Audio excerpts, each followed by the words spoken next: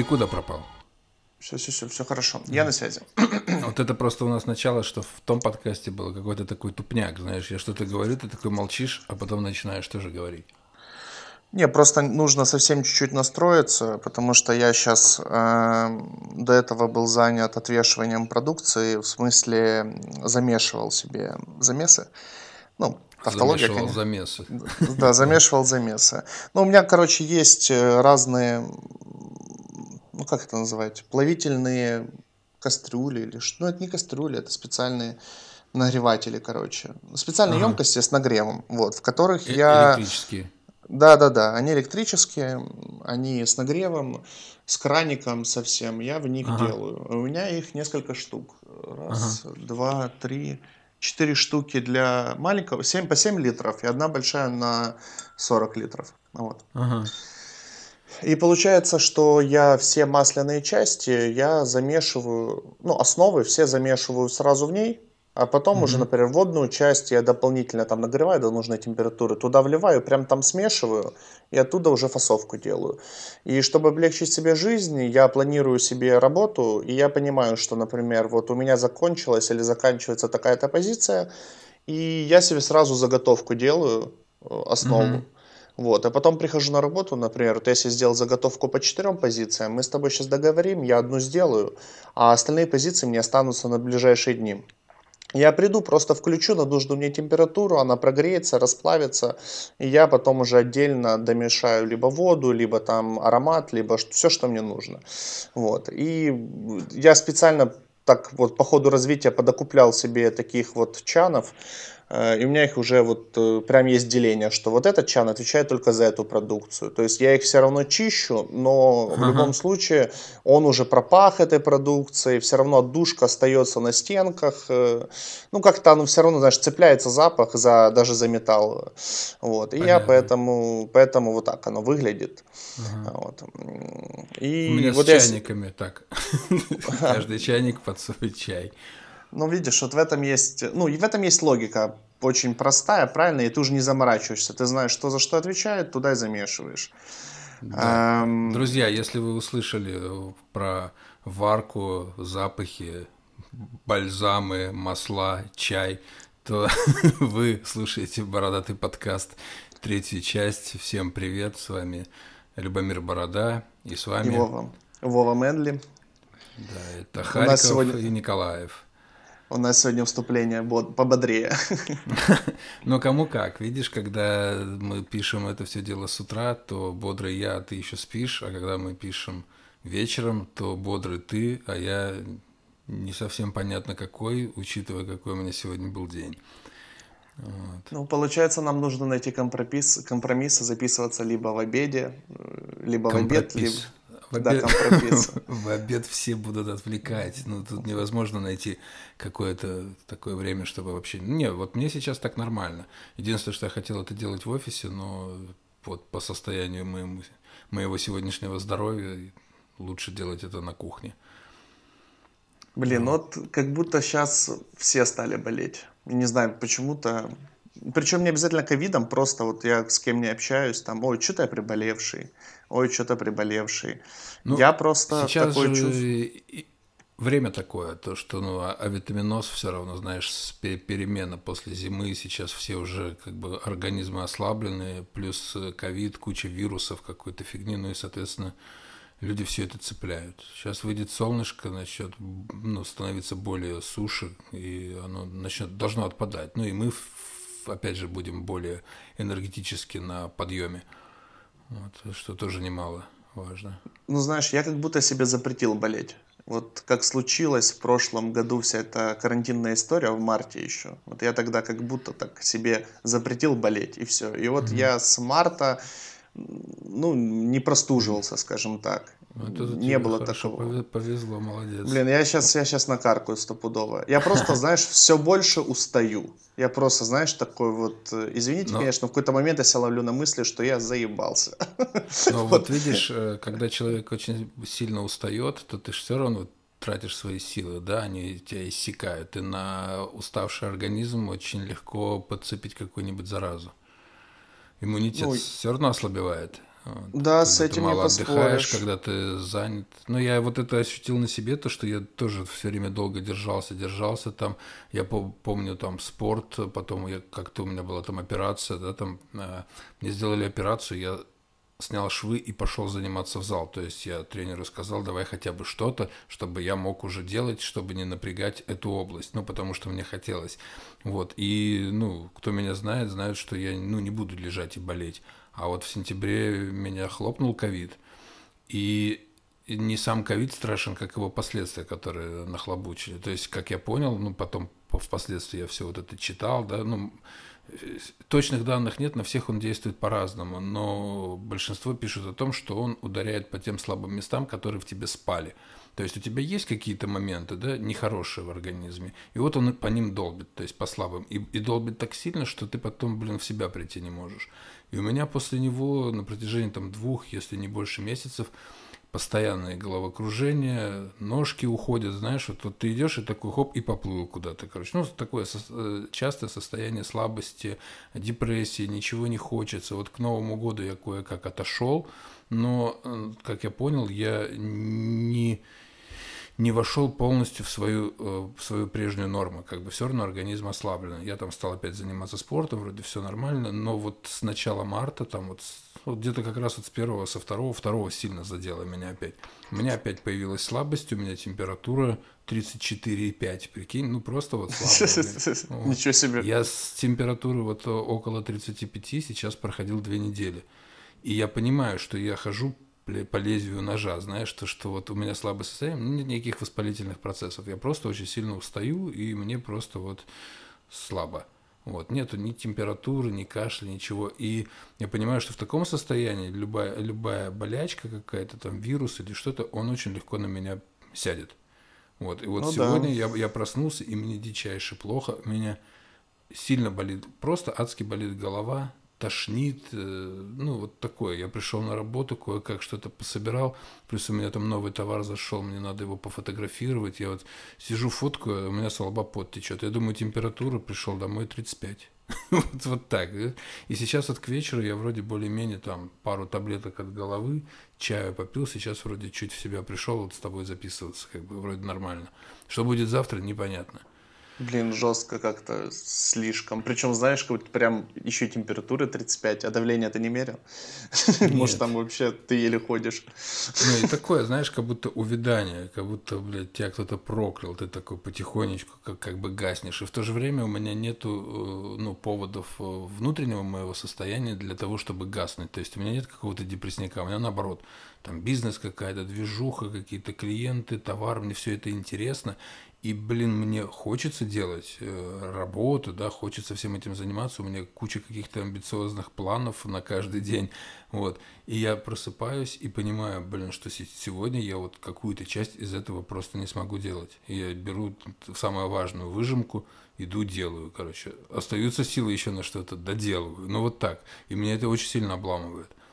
Блин, это причем, получается, прошло месяца четыре уже, и это все еще у тебя остаточные какие-то явления. Ну, даже да. больше.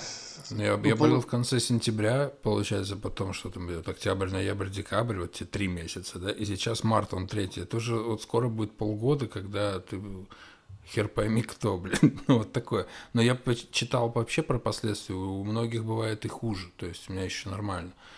Ну и тут надо как-то это ну, я смотрел подкаст с невропатологом, эм, и он говорил, что вот эта ковидная история, особенно когда пропадают э, обоняние и вкус, э, что есть э, примеры, что не возвращаются потом, либо очень искаженно возвращаются людям. То есть, например, после уже как переболели люди, э, может месяцами э, не возвращаться вкус, либо вернуться, но очень искаженный, и это может даже остаться на всю жизнь. Вот. То есть это какие-то единичные случаи, но есть такие примеры уже зарегистрированные. И я такой думаю, блин, вот это, конечно, дичь. То есть, ну, блин, потерять ну, да. ну, вкус Ну, это, это прям вкус жизни потерять. То есть мы через еду получаем массу эмоций на самом деле и массу впечатлений от жизни. И если потерять это, ну, блин. Да, это жопа. Я вот э. даже задумался о том, что если наконец-то появится какая-то э, ну, уже надежная и массовая вакцина, что я ну, вакцинируюсь прям вообще без разговоров. То есть я не вхожу там в когорту э, антивышечников, пятиджишечников и, и, там, и я остальных. То самое. Я сразу, как это появилось, то, что там возможность записаться вот через Дию, я в очередь там встал, посмотрю, когда она до меня дойдет. Но я смотрю, сейчас все больше и больше народа стало об этом писать и публик... опубликовывать уже какие-то мои знакомые. Я вижу то, что они там уже вакцинировались, ну, в разных городах. Я просто пока не могу понять, как происходит этот, этот э, ну, выборка. То есть там она же была какая-то, да, там сначала этих, потом тех, тех, тех, там начиная с медиков. Но, как я понял, возможно, раз э, некоторые мои знакомые в это попадают, а там есть музыканты, блогеры, там еще что-то, возможно, где-то, может быть, рассматривают лидеров мнений, знаешь, то, что в первую очередь надо запустить этих людей, чтобы они через э, свои социальные там сети показали людям, что вот они это делают. Ну, как угу. бы потому что спорных вот этих э, делать или нет, опросов, я смотрю, тоже сейчас проходит много, и э, там чуть ли не половина населения не хотят вакцинироваться. Ну и, соответственно, с этим надо как-то работать, и, скорее всего, журналисты, блогеры, э, музыканты, там какие-то люди, которые на виду, они, скорее всего, в этом участвуют вне очереди. Ну, как я понимаю раз я ну, это стал наблюдать ну, в социальных по крайней сетях. Мере, по крайней мере, в этом есть какая-то логика. Но понимаешь, я, я понимаю людей, которые не хотят вакцинироваться там, по причине того, что вакцина там, не исследована до конца, или привезли какую-то неведомую там, э, индийскую вакцину с небольшой эффективностью, там 60% или сколько я читал где-то. Вот. То есть таких я еще могу понять, которые как выбрали позицию, как я. То есть мы подождем, сейчас вот посмотрим.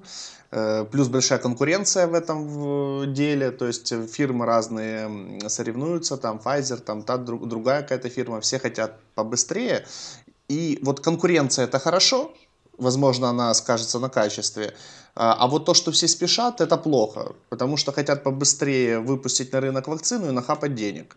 Вот. Плюс тут еще, конечно, сказываются какие-то элементы как будто холодной войны, потому что Россия вот впереди планеты всей выпустила спутник, который тоже непонятно, эффективно, неэффективный. Одни страны его закупают, другие отказываются. Кто-то по политическим соображениям, кто-то отказывается его покупать из каких-то других соображений, э, ну, типа недоказанности эффективности или еще что-то. Вот. А Но вот мне кажется, что, извини, перебил, что любая вакцина, какая бы она ни была, если она зашла уже на рынок и предлагается населению, то она одобрена ВОЗ. А в ВОЗ сидят не мудаки, и из Индии она, или России, или из Пакистана, ну, не, нет никакой разницы. Как мне кажется, раз она одобрена, значит, она, она нормальная по крайней мере. А если она ненормальная, значит нормально еще вообще никто не придумал. Тут же ускоренный процесс э, э, выпуска вакцины, потому что поголовно все болеют. И если в случаях там с другими болезнями и вакцинациями проходят десятки лет, да, когда вакцину полностью можно разработать и опробовать на людях со всеми последствиями, со всеми этапами, годами, то тут все происходит в достаточно ускоренном процессе, и, соответственно, уровень погрешности будет больше вне зависимости от того, кто ее сделал. Но если ее запустили на рынок, значит, она соответствует э, требованиям. Я ну, думаю, так. Она как будто соответствует каким-то требованиям, но тот же российский спутник ну, если я достоверные источники читал, выпустили без третьей стадии исследования, то есть угу. э, без... Э, там они, получается, делали ж, как, э, с, как это называется, господи, э, у них была какая-то выборка, и часть э, испытуемым вводили плацебо, часть испытуемым вводили настоящую вакцину. И даже сами люди, которые вводили, вот э, там медсестры или кто, которые шприц, шприц, ну, вкололи шприц этот с вакциной, не знали, что они вводят, э, нумерация, вся эта данная по вакцинам была в компьютере. И то есть компьютер потом уже обрабатывал фамилии там как-то и должен был дать э, эффективность какую-то. И должна, это была небольшая выборка, должна была стать еще какая-то более глобальная, если я правильно понимаю, как это работает. И вот, вот более глобальной не было. То есть они сразу такие, вот мы провели вторую стадию, ну все, значит, выпускаем на рынок, чтобы быстрее выпустить. Угу. Ну, не знаю, ну, я вот, короче, вот то, что я примерно читал и как я это понимаю, я тебе сказал. А как ну, я, то есть, я сейчас деле, тоже сумбурно достаточно. Да, их, скорее всего, ну, как, как, как я понял, невозможно сделать э, стопроцентную эффективность, потому что все равно никто не знает до конца, что это такое. Вот, и все это в таком ускоренном, и, ну, и, скорее всего, тут идет уже ставки на то, что э, хоть бы было меньше но, но, но, но не полностью, знаешь, ну, хоть бы было меньше там процента заболеваемости, хоть бы как-то эта вакцина сработала, чтобы можно было продолжать дальше работать в этом направлении и изучать. Ну, такое. Вот. Ну, Я думаю, сейчас весна настанет, и все должно быть немножко получше. Хотя в прошлом году первый карантин был как раз весной, но опять же тогда, как я ну, как мне показалось, то, что очень э, сильно все закрыли, перепугались и сделали это, наверное, даже преждевременно. То есть убили большинство бизнесов, еще чего-то, но тогда не было такого массового заболевания, чтобы э, вот эти меры предпринимать. А тогда, когда оно уже пошло, все взяли все ослабили, потому что, блядь, ну вы же уже убили нам бизнес, какой нахрен еще что-то закрывать? Ну, все сделали задом наперед и через жопу. Мне кажется, это именно так и было. Просто а сейчас уже закрывай, не закрывай, сейчас все друг с другом контачат. Ну, уже невозможно это остановить. Тут уже идет эволюция. Напугали просто резко всех. Ну, Тогда, вот, да, сильно напугали. И люди в итоге... В итоге, я просто помню лето. Помню лето, как все вроде разрешили уже хоть что-то, все выдохнули и так соскучились друг за другом, что начали тусоваться, обниматься, целоваться. И, в общем, этот месяц, как будто месяц сидения дома был коту под хвост. Вот, поэтому... Да. Такое, я, да. очень... я просто помню, вот сегодня, вот мы записываем этот подкаст 17 марта, это среда, выпустим в пятницу, да? В пятницу выпустим? Ну, это уже как ты смонтируешь.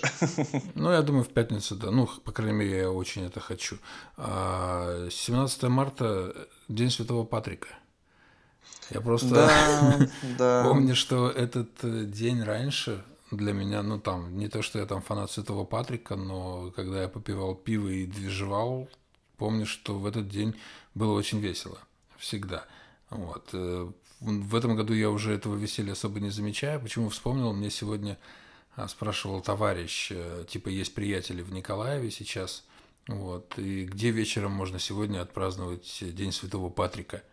И я такой, блин, ну, я, и я ловлю себя на том, что я не знаю, где в нашем городе можно сегодня э, отпраздновать Патрика, прикинь. Блин, я тоже не знаю, но я еще, я просто общаюсь с некоторыми ребятами, которые праздновали, и сейчас, вот, например, держат заведения, пабы в Харькове, Э, с некоторыми общаюсь. И вот они, например, писали посты на Фейсбуке о том, что из-за там всей этой ковидной ситуации они вот специально не будут устраивать никаких мероприятий, никаких вечеринок. То есть, э, э, поэтому, возможно, сказался карантин, но с другой стороны, ну не карантин, а вот эта ковидная история, но с другой стороны, мне кажется, что как будто вся, все вот это празднование пошло на убыль последние годы, вот в частности Патрика, вот, если вспомнить, например, лет еще 7 тому назад, когда вот это все бородатое движение было на пике в Украине, тогда же парады были, и в Одессе там проводили пацаны, они в, килте, в килтах шли парадом,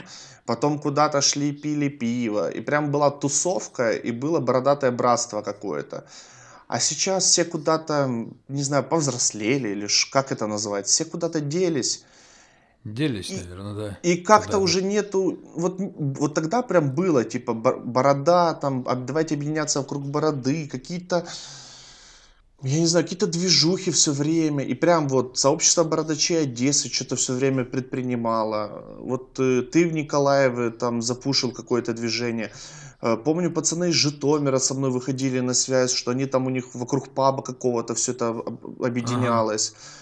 Вот были какие-то такие локальные очаги, которые, ну, то есть вот Борода просто был повод для ну, общения креативных людей. То есть вот, ну, вот да. все, это всего лишь вот борода просто был повод, как будто э, наличие бороды подразумевало уже наличие каких-то базовых э, общих идей. То есть э, какую-то легкую неформальность возможно, эм, вот какой-то более такой какой-то подход более креативный к жизни. И вот пацаны на этой почве объединялись, может еще любовь к пиву, как будто это ну, да. тоже было одним из поводов. Вот. И как-то это все вот было, было, было, и бац, и сдулось. Это да. Но вот у нас как раз же даже тот этот бородатый клуб Николая, в Николаеве мы организовывали как раз вот ровно 4 года назад, ровно вот в этот же день. 17 числа. Мне сегодня даже Facebook это подсказал. Вот. Э, выпустили там свои вот эти первые футболки, запустили Nikolaev Beardman Club. Выступал у нас как раз O.Hamsters тогда. Вот, угу. Я не помню, пер, первый или раз они были в Николаеве, не первый, но именно что мы пошли там на O.Hamsters с ними тусить, э, потому что у нас день рождения клуба, ну вот сегодня в первый раз. И такой мощный движ мы как раз запустили, у нас еще и клуб, там Хмельной Патрик, паб. Вот, все это в нем так прогорели хорошо. И на следующий год у нас была годовщина э, вот этой всей движухи, короче, с нашей бородатой. Активно так мы двигались еще. И мы сделали опять же в этом же Патрике и опять же Патрика. Только не мы их приглашали, ой, Патрика, о Хамстерс, не мы их приглашали, а также Патрик. Ну, Патрику понравился этот движ, эта команда, и они э, запустили их на следующий год на День Святого Патрика опять то же самое мероприятие, и так совпало, что у нас годовщина, короче. Мы там опять прогорели хорошо. А потом... Потом ты помнишь, когда я тебя приглашал, мы делали уже в мертвом кролике, уже мы привозили, по-моему, вот Хамстерс. Да, но дел... это не Патрик был. Да, это, это было... был не Патрик, это был день, Всемирный день бороды. Да, да, да. Да, и, пос... и после него уже я прекратил бухать. И это был, опять же, и после этого был опять Патрик на который я пошел и просто поздороваться. И опять приехали Хамстерс. Я просто зашел трезвый, короче, посмотрел на них, как они играют, всем ручкой махнул, там сделал какую-то одну фотографию и уехал. И все. Вот. А сегодня, если бы там не Facebook, вот, я бы даже и не вспомнил, что мы когда-то организовывали этот клуб, потому что вот этот бородатый клуб, он как-то постепенно прекратил свое существование. То есть, то мы там объединились вокруг какой-то идеи, да, что-то там делали-делали, но, судя по всему, вот этой именно идеи пить пиво и тусить в пабе было недостаточно, чтобы вот, облепить ее бородачами, которые никуда не, не разбегутся. Потому что я так посмотрел, ну там каждый занимается каким-то своим делом. И сейчас очень сложно нам собраться. Вот. Один уехал куда-то, кто-то там занимается хендмейдом плотно, там в мастерской торчит, не, вы, не вылазит, да, кто-то там где-то еще, короче, кто-то там что-то рисует, дизайнерит, и у него, он в, вроде в городе, но в этот город практически никогда не выходит. Ну, знаешь, вот какие-то такие. Я там в чай этот ушел. У меня же была потом а, другая попытка, опять же, на бородатой теме, я сделал бородатые бега. Да-да-да. Это, я... да, это уже новая была тема, это когда я стал бегать и просто захотел Всемирный день бороды отпраздновать э, с какими-нибудь бородачами, типа давайте пробежим вместе.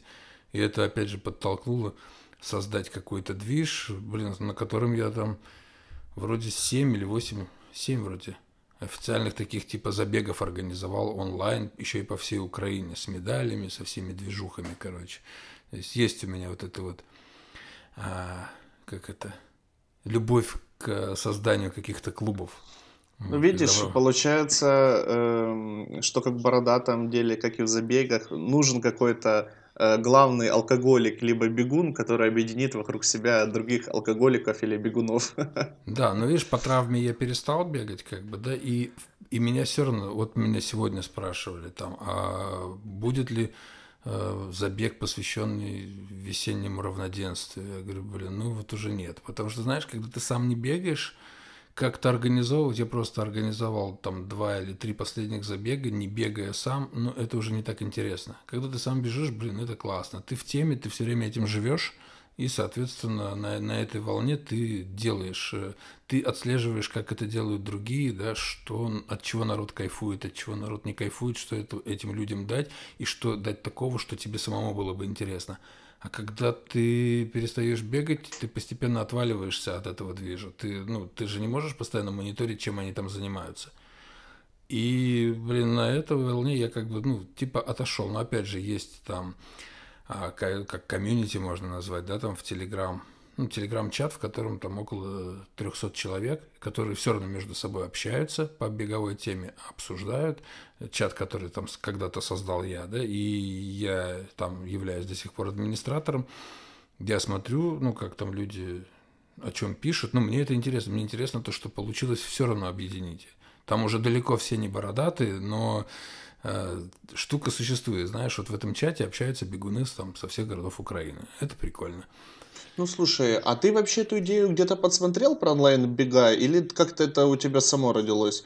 Э, потому что... Не, ну, он, он, он, я когда стал заниматься бегом, ты же знаешь, мониторишь всякие штуки, там, а, подписываешься на участие в каких-то мероприятиях. Тогда еще не было ковида.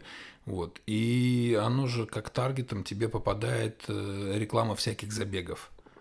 Ну, типа, угу. чтобы ты тоже такой там поучаствовал. И как, я не помню, как он точно называется какой-то фирменный ресурс, короче, не, западный, вот, у которых красивые медали, и там, типа, ты можешь э, ставить, ну, проходить любые челленджи, ты можешь зарегистрироваться у них, там, выбрать себе любой челлендж, например, что ты пробежишь там 150 километров там за какой-то срок, да, либо ты будешь бегать каждый день по 3 километра, то есть там челленджи на выбор очень много, и под каждый такой челлендж есть э, своя медаль.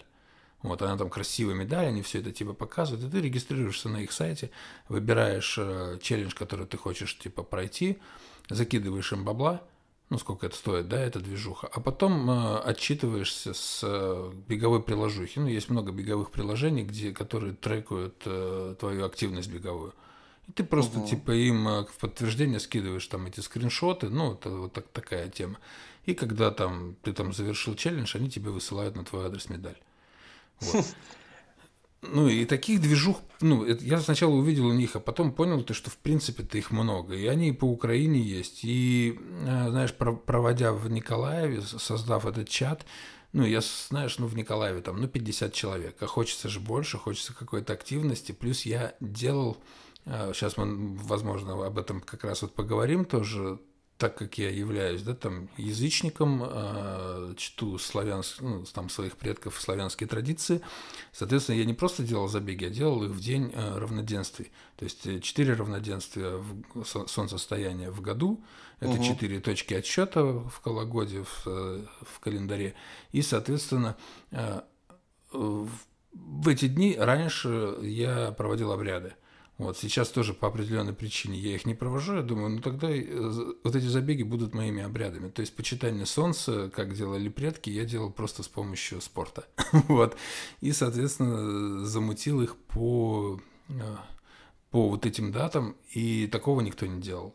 Ну, это, блин, угу. стало интересно, понимаешь? Ну, то есть я не стал ну, их там называть Коляда, Масленица, там, а, Купала и Таусень. Я их просто называл там весенние, летние, осенние, зимние, ну, такие, чтобы сильно, знаешь, не, не показаться каким-то сектантом, короче. Все должно, быть, должно быть намного проще, доступнее и понятнее, почему мы так делаем.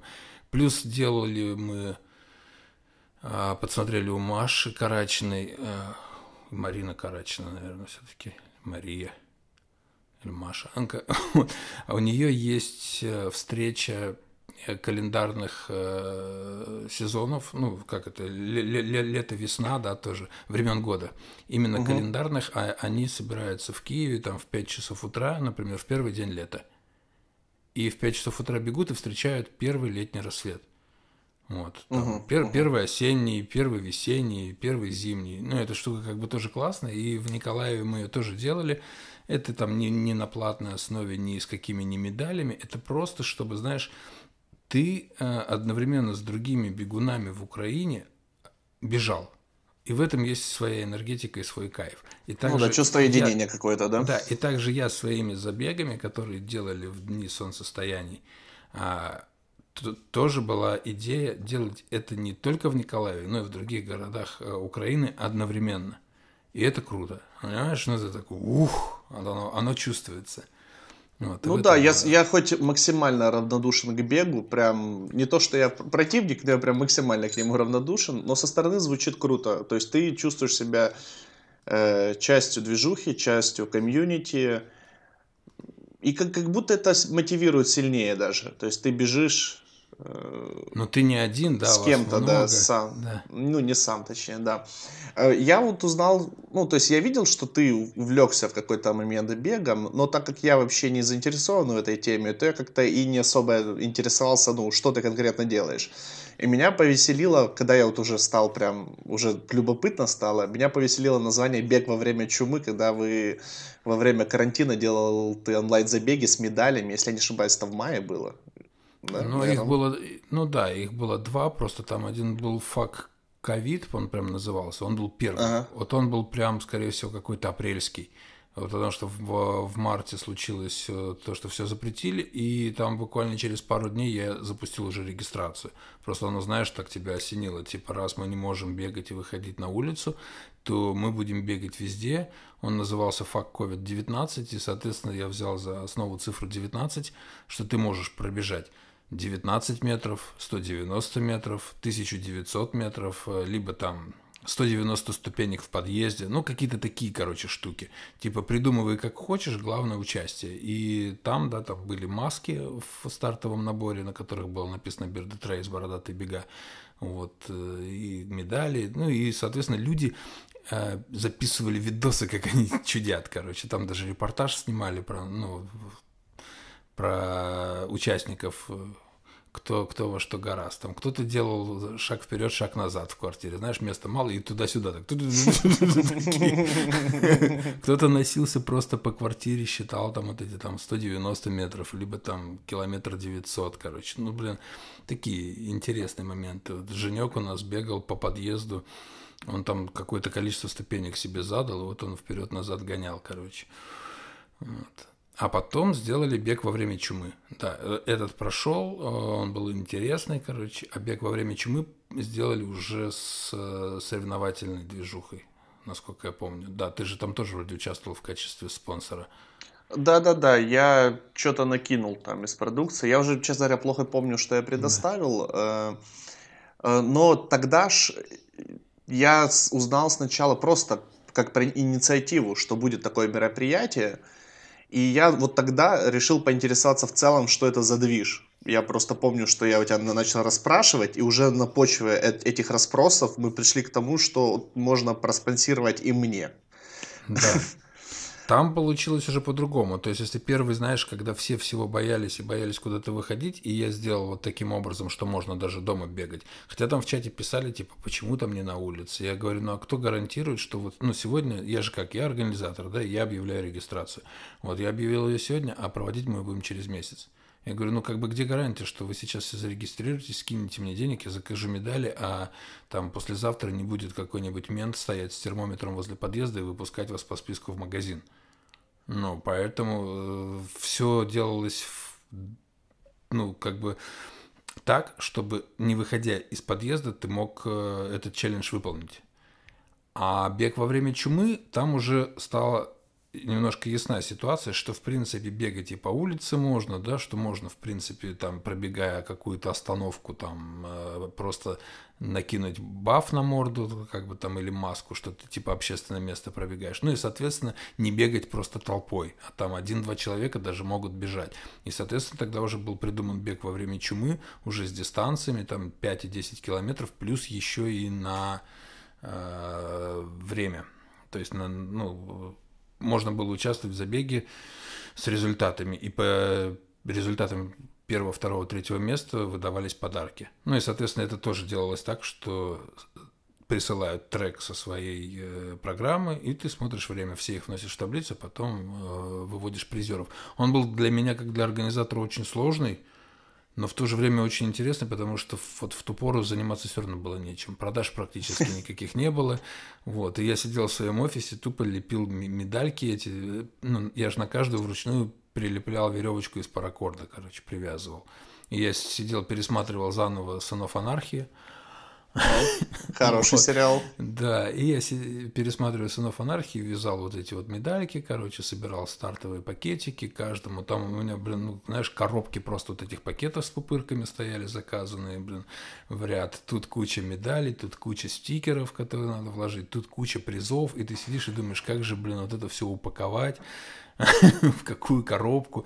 И я ходил, ну, когда уже были определены победители, там еще был немножко там скандал, у кого-то там заел, заели часы, а он там супер бегун, он там не вовремя там нажал на кнопку, ну что-то такое, короче, были какие-то такие моменты. Но призы были классные, и вот я помню, я там в течение недели, наверное, каждый день, просто я приходил с утра, лепил эти медали, пакетики, там еще номера, ну вот полностью стартовый пакет, да, все их э, собирал, там порядка там 40 пакетов, 30-40. А, все их э, в приложухе новой почты сразу делал там, ну, нумерацию забивал, да, ну, как создавал накладные, короче. Вот, подписывал каждый пакетик, брал там два мешка, короче, при, приходил на почту и говорю, распечатайте мне реестр, а то вдруг, говорю, в вашей вот это вот, в вашем аппарате не хватит как бы ленточки, ну, чтобы мне оператор делал. Они мне такую ленту дают, и я стою их там клею, они мне даже помогали, знаешь, ну, не так много народу чего-то отправляло в этот период, и я там клепал, делал им деньги, короче, на новой почте. Ну, ты как этот, вот. ты как, ты как Дед Мороз такой, именно да. с мешком пришел. Да, и так э, на протяжении протяжении вот недели. То есть ты такой сделал 40, ну там приоритет опять же, да, там сначала детям, потому что дети тоже бегали, да, там ему хочется быстрее подарки, вот, потом э, всем призовым местам ты отсылаешь, короче, потом туда же докладываешь э, тем, кто с этими призовыми там вместе регистрировался, да, там просто Вася победил, но его жена с ребенком тоже бежали, значит, надо тоже доложить эти медальки. Ну и вот такая сортировка, она такая долгая, блин, вот, и когда ты последний пакет отправляешь, такой, ух, наконец-то. Ну, ну, слушай, звучит, звучит как достаточно ну, крупный проект такой.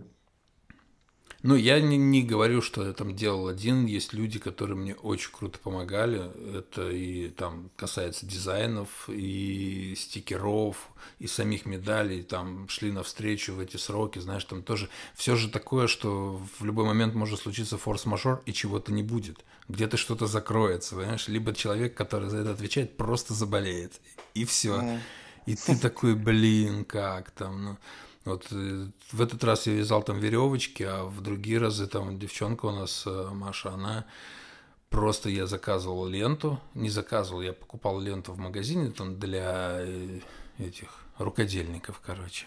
Вот, отсылал приятелю в Киев, он на нее пропечатывал, ну, принтовал эту ленту, делал ее брендированной для медалей. А потом приходила Маша, забирала мне все медали и мотки этой ленты, и дома сидела, каждую пришивала, прикинь.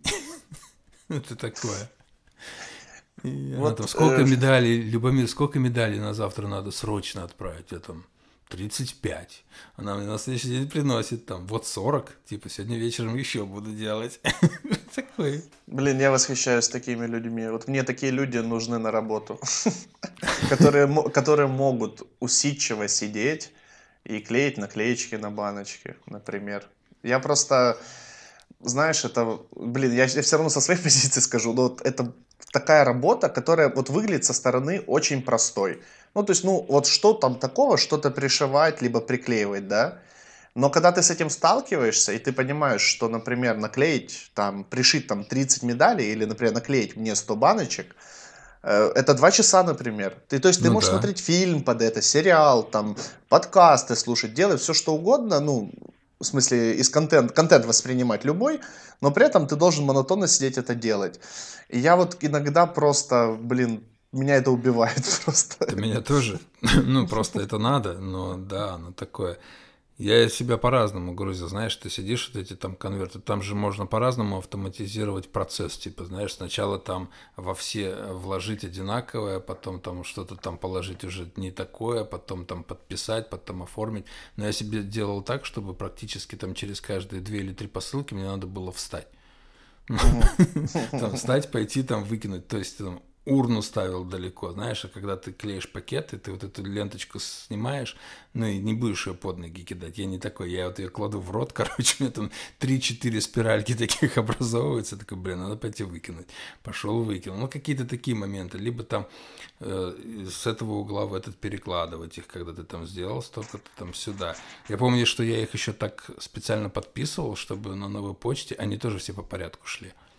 Угу, угу. Ну, специально так раскладывал, чтобы ну, не надо было потом номерки искать. Ну, вот. Ну, а я что просто, касается... Ага, я, просто, да, я просто подумал, что вот эта организация онлайн-забегов каких-то, я подумал, что это уникальная история для Украины. Ну, так как я не погружен в бег и во всю эту субкультуру, в моем информационном поле не было ничего подобного. И я когда услышал вот этот бег во время чумы, я такой, блин, это очень странно, ну, бежать онлайн. ну, то есть, mm-hmm. очень странно, но прикольно. И я еще тогда вот э, не догнал э, соревновательской вот этой истории, то есть как можно соревноваться, как доказать, кто первее пробежал, да, если бегут в разное время, ну, плюс-минус, да, имеется в виду не там не mm-hmm. в час, а ну, все равно стартом может быть в разное время и так далее. Как это все сравнивать, как это замерять? Тут же придется людям доверять. Ну да, вот ну в моем случае да, вообще в этот же период, ну вот во весь этот 20, 20 год карантинный, а, есть же еще крупные организаторы типа Новой почты, а, которые угу. продали регистрации, абонементы там годовые, к примеру, да, ну люди сразу покупают на год, например, там все полумарафоны, там еще что-то, ну бегуны они так любят делать, там собрать полностью, там пробежать э, все годовые вот эти вот там во всех городах, короче поучаствовать. Вот. И новая почта, она что сделала? Она сделала тоже все свои мероприятия, перевела в режим онлайн. Они сделали классные стартовые пакеты. Ну, то есть не, не, не зажопились, как бы, знаешь, как угу. многие там. Они там стали всем участникам рассылать футболки, классные медали. То есть, если раньше у них там, например, металлическую медаль ты получаешь э, ну, за дистанцию там 10 километров и выше, ну там 21 и марафон, то ну, дистанция 5 километров, например, была пластиковая медаль, то тут они даже на 5 километров сделали металл, они что-то там, ну, прикольное, там маску, антисептик, э, какой-то там приколюшку, какие-то там наклейки, шапку, помню, там клали, футболку, то есть, ну, в каждый пакет уже в онлайн, так как они, знаешь, ну, а, бюджет не расходуют на офлайн мероприятия, они все-таки докупили чего-то и проводили это онлайн. И люди как бы там, сегодня бежим там Харьков, но каждый бежит у себя дома, понимаешь? Вот. И у новой почты, так как, ну, скорее всего, как, как я понимаю, их, их больше, по крайней мере, у них есть волонтеры, да, там еще что-то, они отслеживали, ты тоже им присылаешь, типа, свой результат, вот, но они не, не верили на слово, а они анализировали, может ли этот человек столько пробежать. То есть, ну, если ты присылаешь результат с какой-то беговой программы, значит, угу. он не должен быть первым результатом в этой беговой программе. Ну, то есть, это, это не, твой не первый трек. И в этих беговых программах это же типа как социальная сеть беговая.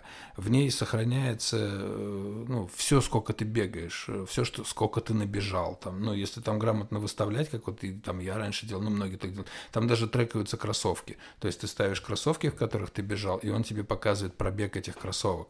Ну, со временем. Хм, Там, прикол. Ну, и у каждых кроссовок есть определенный уровень пробега. То есть ты понимаешь, когда тебе надо обувь заменить. Вот, они могут выглядеть классно, но в них бегать уже нельзя для здоровья. вот, и а, Соответственно, там, если ты показываешь какой-то ну, спорный результат, то они проанализируют твой профиль, как ты бегаешь вообще ну, там, не прокатился ли ты на велосипеде, к примеру. Ну, то есть, ну да, там, да, там... да, я вот это имел в виду. Либо просто ты дал кому-то другому часы эти или еще что-то. Ну, понял, о чем я. Ну да, ну у них посерьезнее. Плюс, знаешь, новая почта не первый раз проводит, у них есть эта база бегунов, и люди, которые принимают участие, они там зачастую принимают его не в первый раз. И, соответственно, они примерно прикидывают там даже по именам и фамилиям, какие люди будут занимать первые, вторые, третьи места. Ну, я просто, знаешь, еще в какой-то момент сейчас подумал, это вот каким человеком надо быть, чтобы незаслуженно получить медаль за расстояние, которое ты не пробежал. Ну, то есть, вот, типа, даже в таком обмануть. То есть, это как, как, как гордиться такой медалью? Ну да, ну, я вот своим это так странно. И, и писал то, что, типа, ребят, я не буду задрачиваться настолько, как бы это все на вашей совести, если вам интересно просто там всех обмануть и получить медаль, ну, блин, обманываете и получаете. Ну, то есть тут же интерес в другом, чтобы люди вместе... Ну, для меня э, всегда была вот эта идея единения, знаешь, то, что мы все вместе. Ну, пускай в разных городах, но есть какая-то проблема, мы переживаем ее вместе, да. Есть какой-то праздник, мы празднуем его вместе. Вот что касается как раз там а, всех равноденствий ну, и прочее. Вот сейчас, кстати, опять будет на этих выходных если люди слушают подкаст в пятницу, то завтра будет весеннее равноденствие, вот что, в принципе, как э, в дохристианской Руси называлось Масленицей. Вот. Сейчас тоже называется Масленицей, но тут Масленицу православные христиане празднуют как-то по луне, она у них плавающая, а у язычников Масленица всегда была на равноденствие. Ничего, что я вот это, начал... ничего. Э, я, меня просто, смотри, я сейчас уточню, то есть это э, в субботу, 20 марта, э, день будет равен ночи. Да. И с 21 числа, по факту, день пойдет в рост. Да. А, и, ну, тогда я со своей стороны уточню просто, что, ну, я себя позиционирую и ощущаю как атеизм, ну, атеист, угу. точнее. Ну, то есть... Агностик. Э, нет, атеист именно. Ага. Я верю в научное познание, а агностиков я считаю сыкунами. Ну, это шутка достаточно старая уже, наверное, на самом деле. Эм, агностик для меня как будто это человек, который не смог выбрать позицию, знаешь, такой типа...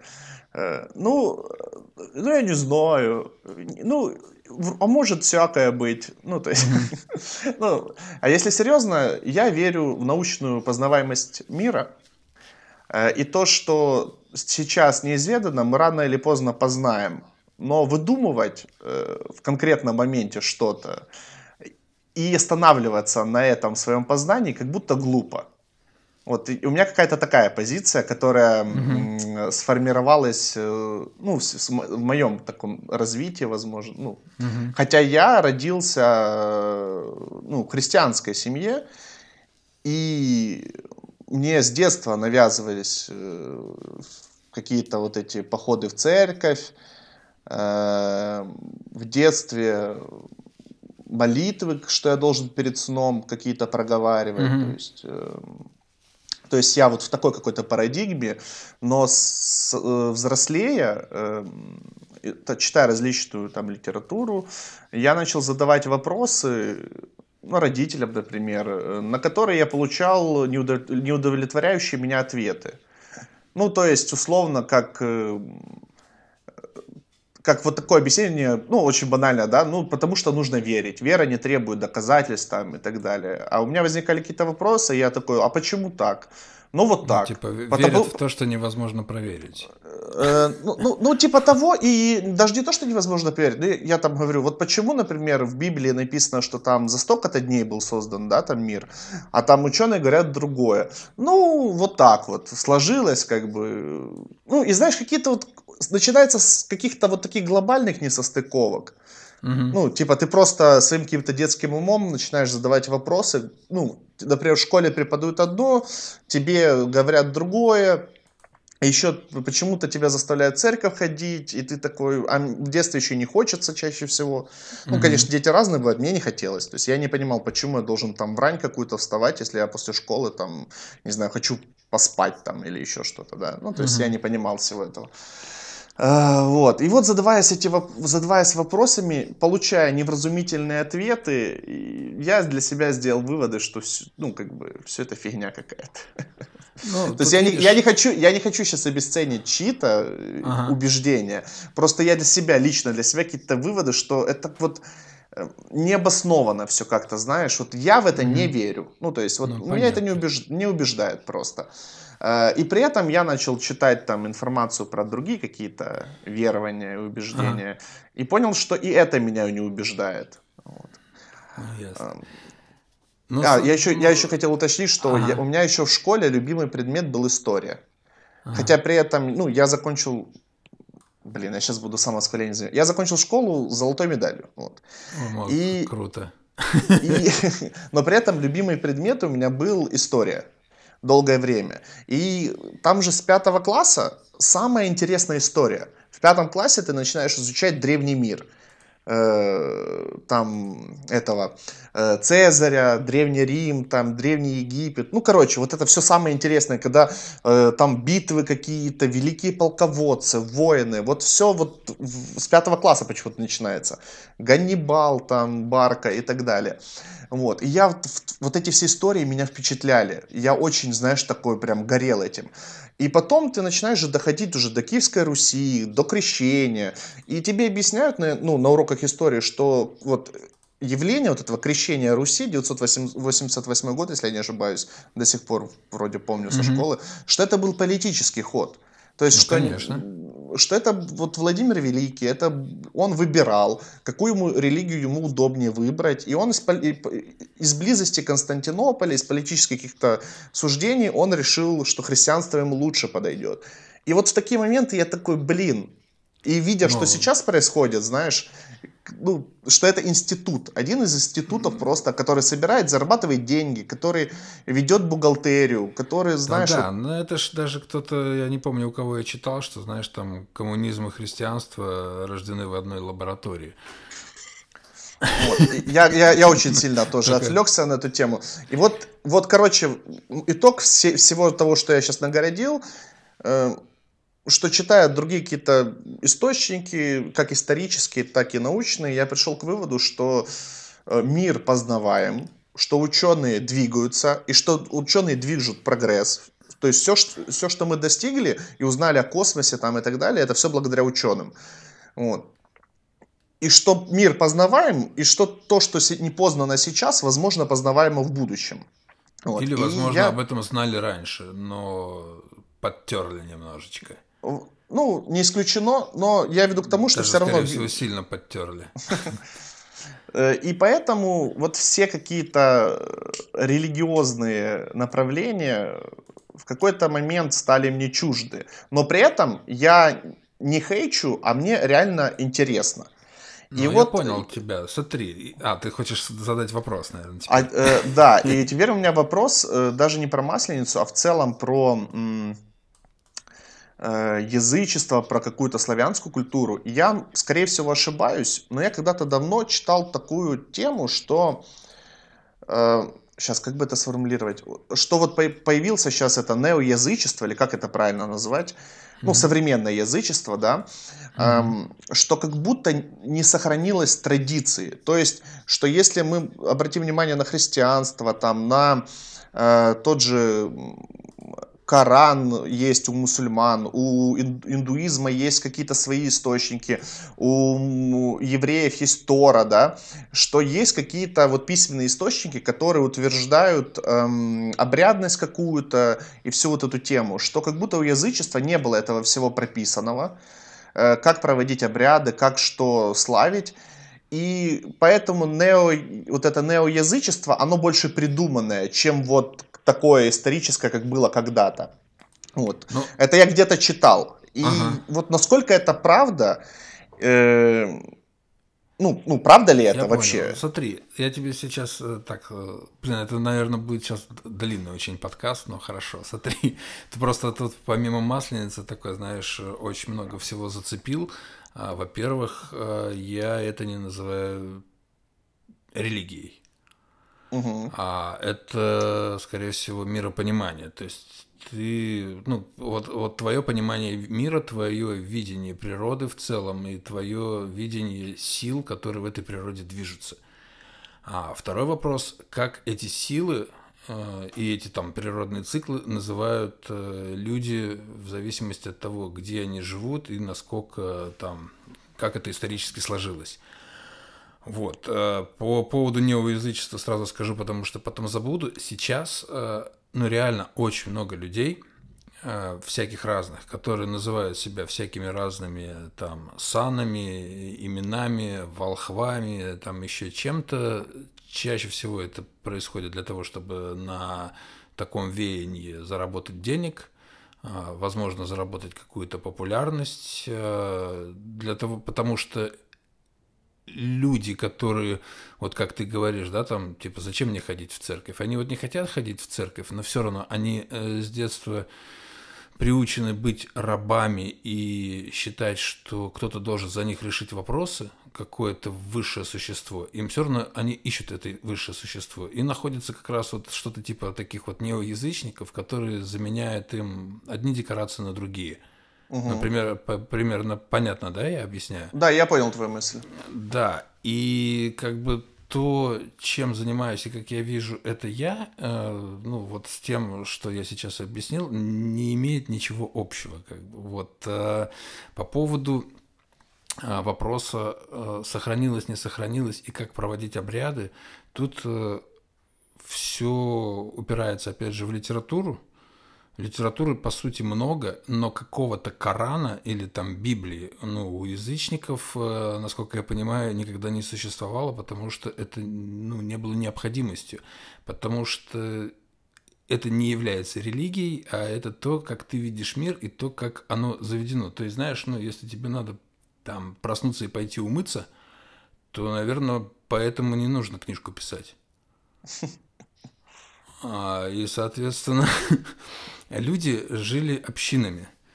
В общинах э, каждый человек проявлялся по-своему. Э, люди охотились, обрабатывали землю э, и полностью взаимодействовали с природой. Чувствовали силы природы намного ближе и сильнее, нежели мы чувствуем их сейчас в каменных домах, в которых мы живем. Вот. Прочувствовать как бы гармонию природы, ну, простой пример, когда ты один заходишь в дремучий лес, ты себя ощущаешь так же, как в городе, или как-то по-другому? Ну, логично, что по-другому, но как ну, будто возникает и... вопрос, э, в чем, ну, вот этого отличия причина какая изначальная. А где ты лучше высыпаешься, в лесу или дома? Э, наверное, в лесу, потому что воздух более свежий. Знаешь, я могу сейчас накидывать логическое да, объяснение да, на все, да, что угодно. А воздух более свежий почему? Потому что там есть деревья, правильно? Потому что там есть да, трава, да, да. есть какая-то растительность, и все это вместе дает ну, некий тоже живой э, организм, пускай неведомый, да, ну вот назовем его э, силами, какой-то определенный положительной силы природы. И есть как бы там, ну я не буду сейчас э, доказывать там какие именно факты, но очень много наблюдений, что там, когда ты себя не очень хорошо чувствуешь, ты можешь поехать в лес и будешь чувствовать себя лучше. Вот. Ученые могут сказать, что да, ты там не шумят машины, там еще что-то, но э, я считаю, что, знаешь, ну как для меня, вот, например, лес – это один большой организм. Организм э, полностью гармонирующий, там все взаимосвязано и все э, по своим правилам. Появляешься там ты. Если ты на позитиве, не больной и все у тебя хорошо, как бы ты вливаешься полностью в э, процесс.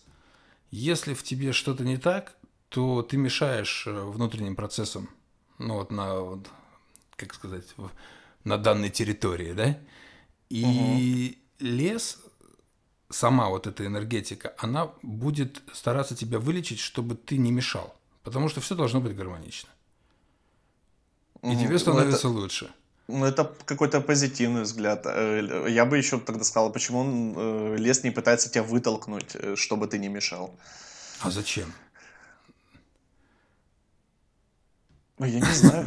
ну, это, знаешь, такой вопрос, а зачем? Ну, это как, ну, как, это будто... как просто, ну, мы, мы, же, а, мы же живой организм, и почему он должен тебя выталкивать? Ну, то есть мы, а, ну, как я считаю, что мы одно целое, то есть мы... Ну, то есть мы, мы не чужды, да? Природе, мы не чужды, да, да мы вза- взаимосвязаны. Вот, это один из, из э, таких, ну, как бы примеров. Как я воспринимаю это вообще? То есть, ну, в, как бы это объяснить? Э, то, что я говорил, да, там люди жили общинами, люди зависели очень сильно от природы, очень сильно зависели от того, выйдет солнце или будет идти дождь, правильно? Потому что от этого зависит урожай, от этого зависит э, как, как он вырастет и что, ну, будет у тебя что-то есть зимой, ну, по, зимой покушать или нет. Соответственно, а, на это обращалось большое внимание, ну и, как это сказать-то, людьми всецело, как бы, которые вот вместе находятся в одной общине, а, как сказать, как совместная, возможно, давай назовем ее мольбой, да, там, или а, совместной концентрацией определенной силой, они старались воздействовать на какие-то э, природные процессы. Угу. Для того, чтобы пошел дождь. К примеру. Ну, чтобы улучшить свою жизнь там и так далее. Да. Да. Да. Вот, э, вот это я считаю э, язычеством. И вот это я считаю, что оно было. Э, люди умели лечить себя не в больницах, там, не в каких-то там аптеках или еще что-то. В какой-то деревне все время была какая-то бабка, которая собирала травки и умела э, предсказать там, что с тобой будет и как этим лечиться. Потом их обозвали ведьмами и сожгли всех на кострах, э, пожгли, и, и пожгли все знания, которые они за собой несли. Так, ну это как будто больше все-таки католическая история про костры. Я что-то как-то... Ну, когда насаживался христиан... Э, христиазм, когда насаждалось христианство, то сжигали как раз всех, кто кто что-то умел и знал, знахари, ведьм и прочих движух, короче, такого плана. Вот почему ничего в истории не осталось. Ну, как я слышал, я, ну, тоже у меня какие-то остаточные знания, что фраза «кнутом и пряником» появилась во время насаждения хри- христианства как раз на Руси, что где-то Но... при Ну, там получилось, э, ну, все это перешло в эпоху двоеверия, потому что отучить людей поклоняться солнцу, ну, невозможно, и просто как бы одни там праздники или одни даты были насаждены на другие даты для того, чтобы это легче воспринималось. Но опять же есть там тот же Юрий Петрович Миролюбов, я, он э, христианин, вот, но он пишет, э, писал, да, там такие темы про российские там глубинки, когда есть э, в деревне церковь, в ней есть батюшка, но когда идет засуха, батюшка собирает хоровод там из детей и там девственниц, и они крутят хороводы и просят пойти дождь. Угу. Но это разве ну, как будто это просто очень такой радикальный пример, но как объединение э, язычества и христианства. У нас же вот Масленица, как я понимаю, это что же языческий праздник, который остался и стал частью христианства? Он не ост... Все праздники христианские сверху наложены на языческие.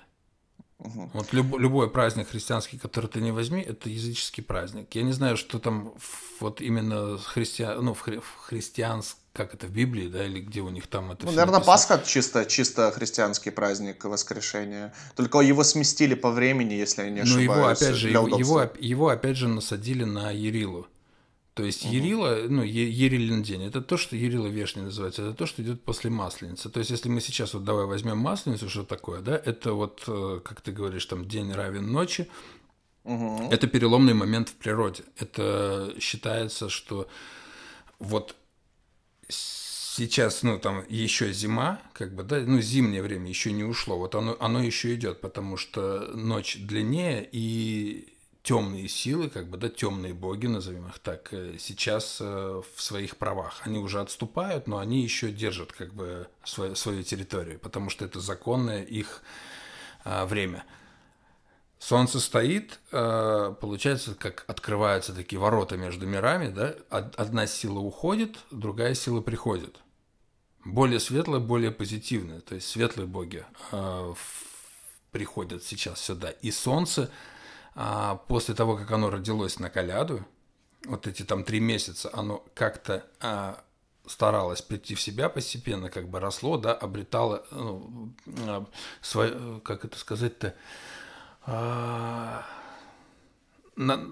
накапливало в себе силы и энергетику, можно сказать. Потому что угу. зимнее солнце, оно светит, но не греет и не дает какой-то прям классной энергии, правильно? А весеннее солнце, которое сейчас пойдет после масленицы, которое полностью вступает в свои права, она уже начинает давать такую ярую мужскую силу.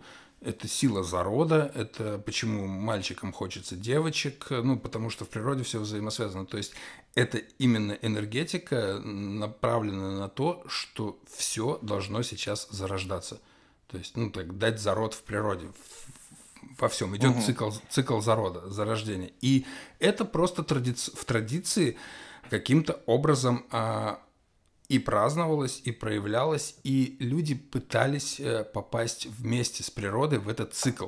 Понимаешь? То есть есть э, вот, вот огромная большая сила, да, силы темные, светлые, которые друг друга заменяют, и, и существует некий такой вихрь, да, когда эта сила меняется. То есть эту силу увидеть невозможно, но прочувствовать ее можно. И когда ты всей деревней делаешь то же самое, что делает сейчас природа, то, соответственно, ты ощущаешь это на себе э, во много раз круче. Понимаешь? Ну, то есть ты грамотно э, проходишь природный цикл. Понятно? Ну, слушай, да, я понял. Нет, это, круто. Это просто, это, э, это, это просто взаимодействие с природой. То есть, ну, как если упростить, каждый из нас, а, закрываясь в туалете, если у него разрядился телефон, он разговаривает с собой. Разговаривает с собой, со своей совестью, со своим сердцем, можно сказать так, да? То есть, в принципе, он ищет Бога. Он ищет Бога, он ищет все равно что-то, что позволит ему принять решение. Он ищет как раз ту самую силу, которая она есть. Она есть вокруг каждого из нас. Это сила твоих умерших предков. Это сила природы, сила земли, на которой ты живешь. Почему на родине тебе легче, нежели когда ты уедешь куда-то. Вот. Оно есть, и если ты э, хочешь это прочувствовать, ощутить и, ну, как бы принять, понимать, то ты это будешь чувствовать. Ну, как бы там нарисовать это невозможно, и там сказать то, что ну-ка, пойдем со мной на капище, сейчас ты, бля, все почувствуешь, ну, невозможно тоже. Но если ты в это как бы вникаешь, да, и э, понимаешь, что происходит, вот, и стараешься принять в этом участие, то есть сказать, бля, возьмите меня тоже с собой, я тоже хочу вот поучаствовать сейчас в этом а, классном а, таком вот цикле солнечном, то ты это чувствуешь ты это чувствуешь, и как раз э, ну, с тобой происходят такие вещи, знаешь, ну, а, переломные. Вот. И к чему я все это, возможно, очень скомкано, но это касается не только славянского язычества. Это просто касается э, того, что ты учишь, учишься взаимодействовать с миром, взаимодействовать с энергетикой мира. Вот. Кто-то становится буддистом и таким образом через медитацию это познает. Кто-то идет в церковь и, глядя на свечку, когда горит огонь, а, разговаривает с умершими родителями, и ему это помогает. И через эту свечку, через этот огонь он как раз достукивается до именно той энергетики, до своих э, э, предков э, в удобной для него диалоговой форме. Угу, Понимаешь? Угу. Вот. И не надо быть религиозным и, и верить, что какой-то Иисус был. Просто человек э, вот эту декорацию полностью воспринимает, воспринимает так, что он способен отключиться от рамок этого, этого мира и провзаимодействовать с другим миром. Вот так, как мы делаем во сне. Угу. Вот во сне у нас рамки исчезают, и мы взаимодействуем с другим миром. Ну, знаешь, вот я тоже как скептик сейчас, э, как будто это просто эм, выглядит эм, как одна из форм эскепизма. Э, то есть эм, нам нужно куда-то направить э, энергию, нужно как-то скорбь, возможно, либо еще какие-то эмоции, плюс как-то успокоить себя, потому что э, будущее не определено и жить страшно, и все мы боимся смерти. Э, как будто просто мы каждый придумывает свою форму, куда направить эти эмоции, и это выражается в религии. Ну, не, ну, возможно, не совсем так. Ты же стараешься еще и принимать э, какую-то энергетику. Если вот говорить о язычестве, да, то в язычестве ну, нет понятия, что, например, э, твои родственники умерли, и их нет вообще. Угу. То есть они есть, и как раз масленица это вот э, тот, тот день, когда считается, как светлые боги возвращаются к нам после зимы.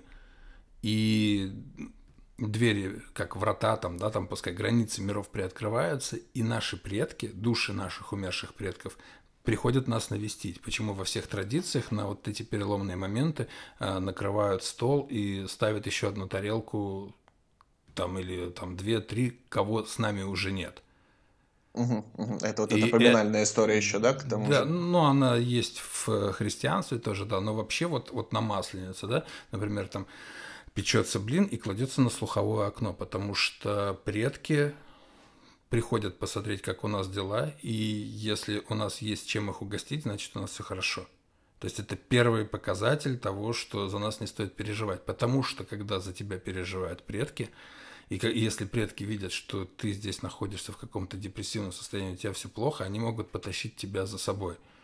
Ну, и это как бы тоже, тоже такой факт, то, что часто бывает, что когда люди умирают, э, их родственники могут либо серьезно заболеть, либо попасть под какую-то там машину в катастрофу, просто умереть, потому что есть какие-то не незавершенные дела, грубо говоря, между вами, да, какие-то моменты, когда вы а, поругались, и человек умер, и ты не успел попросить прощения.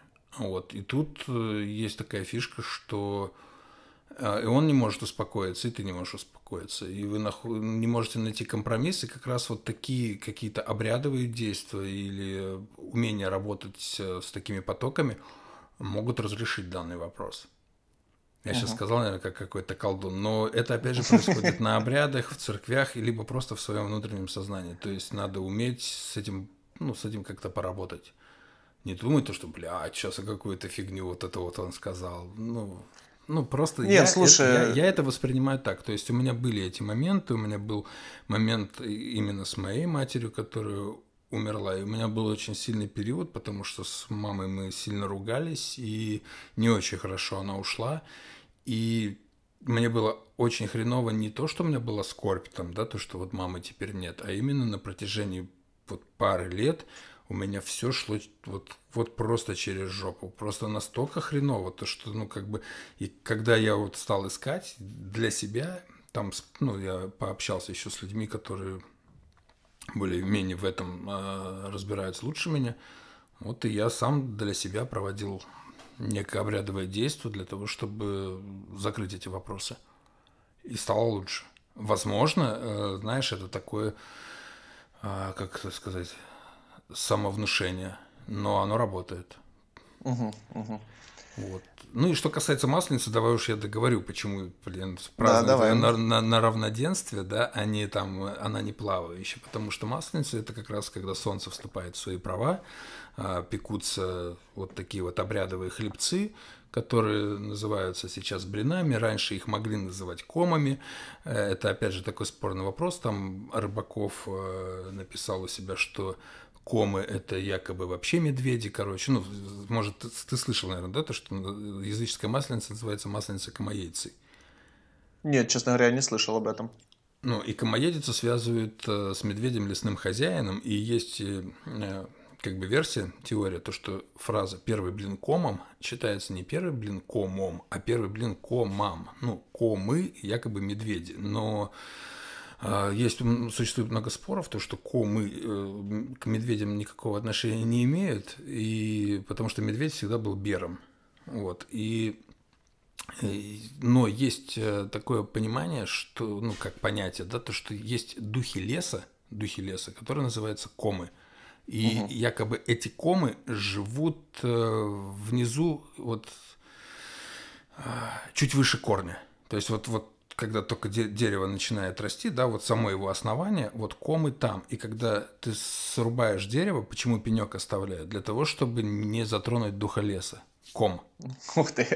Слушай, вот. ну это, это прям очень интересно на самом да. деле. И первый блин выносился в лес духом леса комом, ага, потому что ага. жили в деревнях, все равно тебя окружал лес, все равно ты с лесом взаимодействовал, в лесу жил, э, ну и живет до сих пор, да, медведь. Медведя всегда почитали как лесного хозяина, то есть медведь рулит, все решения в лесу принимает он.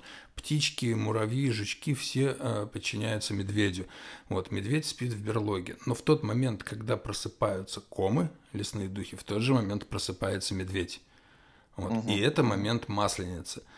И выносили вот эти блины и клали их на спиленные пеньки, потому что там живут комы.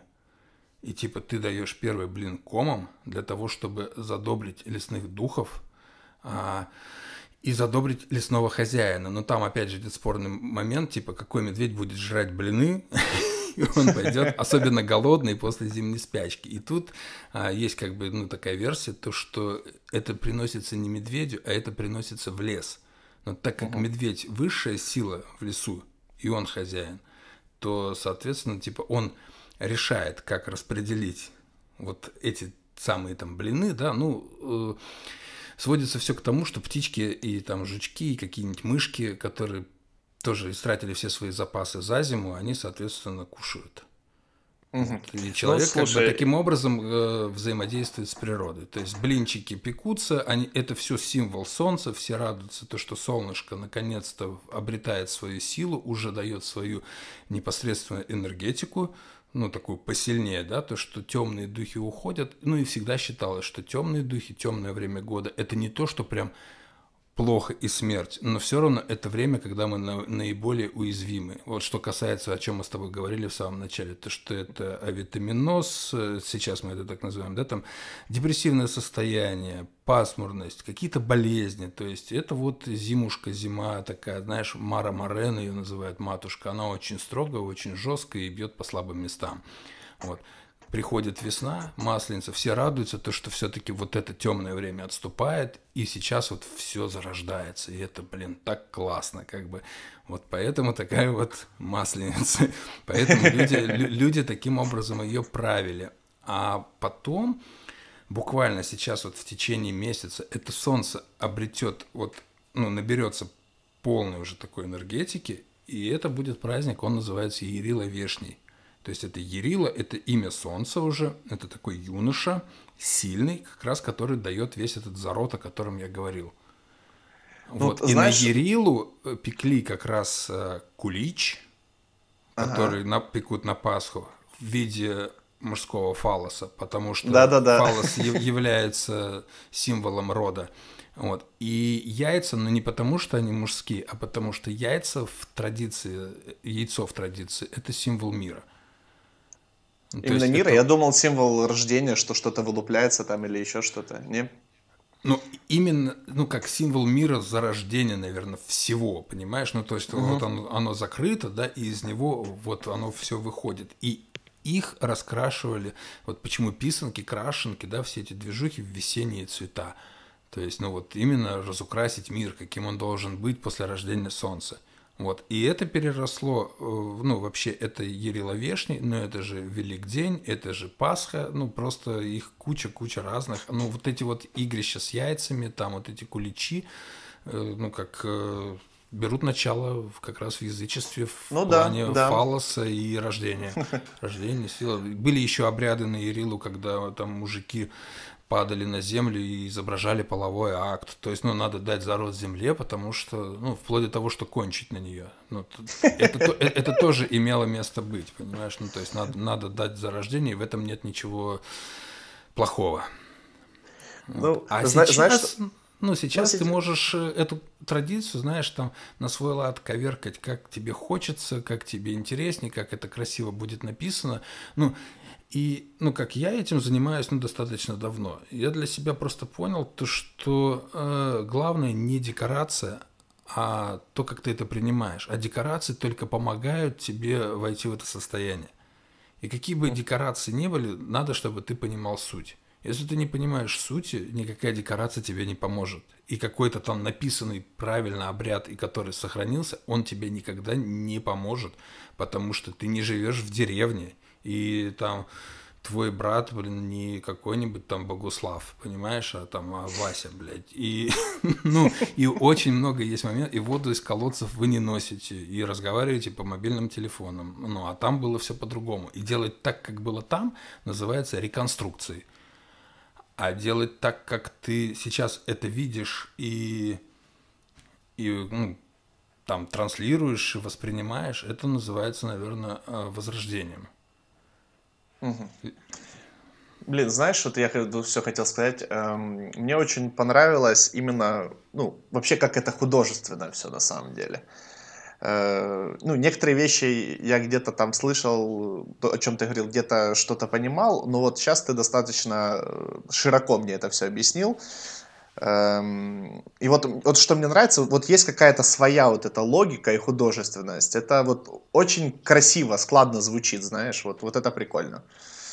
Э, не в плане того, что в это хочется верить, прям сразу побежали через костер прыгать, вот. а в плане, что вот, вот именно есть что-то вот такое художественное, прикольно. Но оно же, видишь, оно делает, как, как я это вижу, да, многие же источники об этом пишут, и в каждой деревне было по-своему, в каждой, ну, и откуда это все известно? Это бабушка бабушке передала, как делали наши деды, как делали наши деды. Есть просто люди, которые увлекаются этим фольклором, изучают его, они пишут какие-то труды, есть люди, которые берут те труды, начинают в них копаться, находить что-то, оспаривать что-то, искать еще. Понимаешь, ну таким образом ты просто а, можешь э, понять некую картину, как оно было и для чего это было. А как это сделать сейчас, надо просто брать там за основу и стараться просто это продолжать в условиях современного мира но, блядь, не ходить в лаптях, понимаешь? Ну, то есть зачем? Ну, мы же, блин, современные люди, и с кукушкой должно быть все нормально, ну, то есть не должно быть таких крайностей. Еще не, дорассказал в Масленице, еще это как проводы зимы, да, то, что сейчас там сжигают чучело. Ну, по сути, почему его тоже сжигали? Это же не просто то, что там зима такая плохая, ее надо спалить.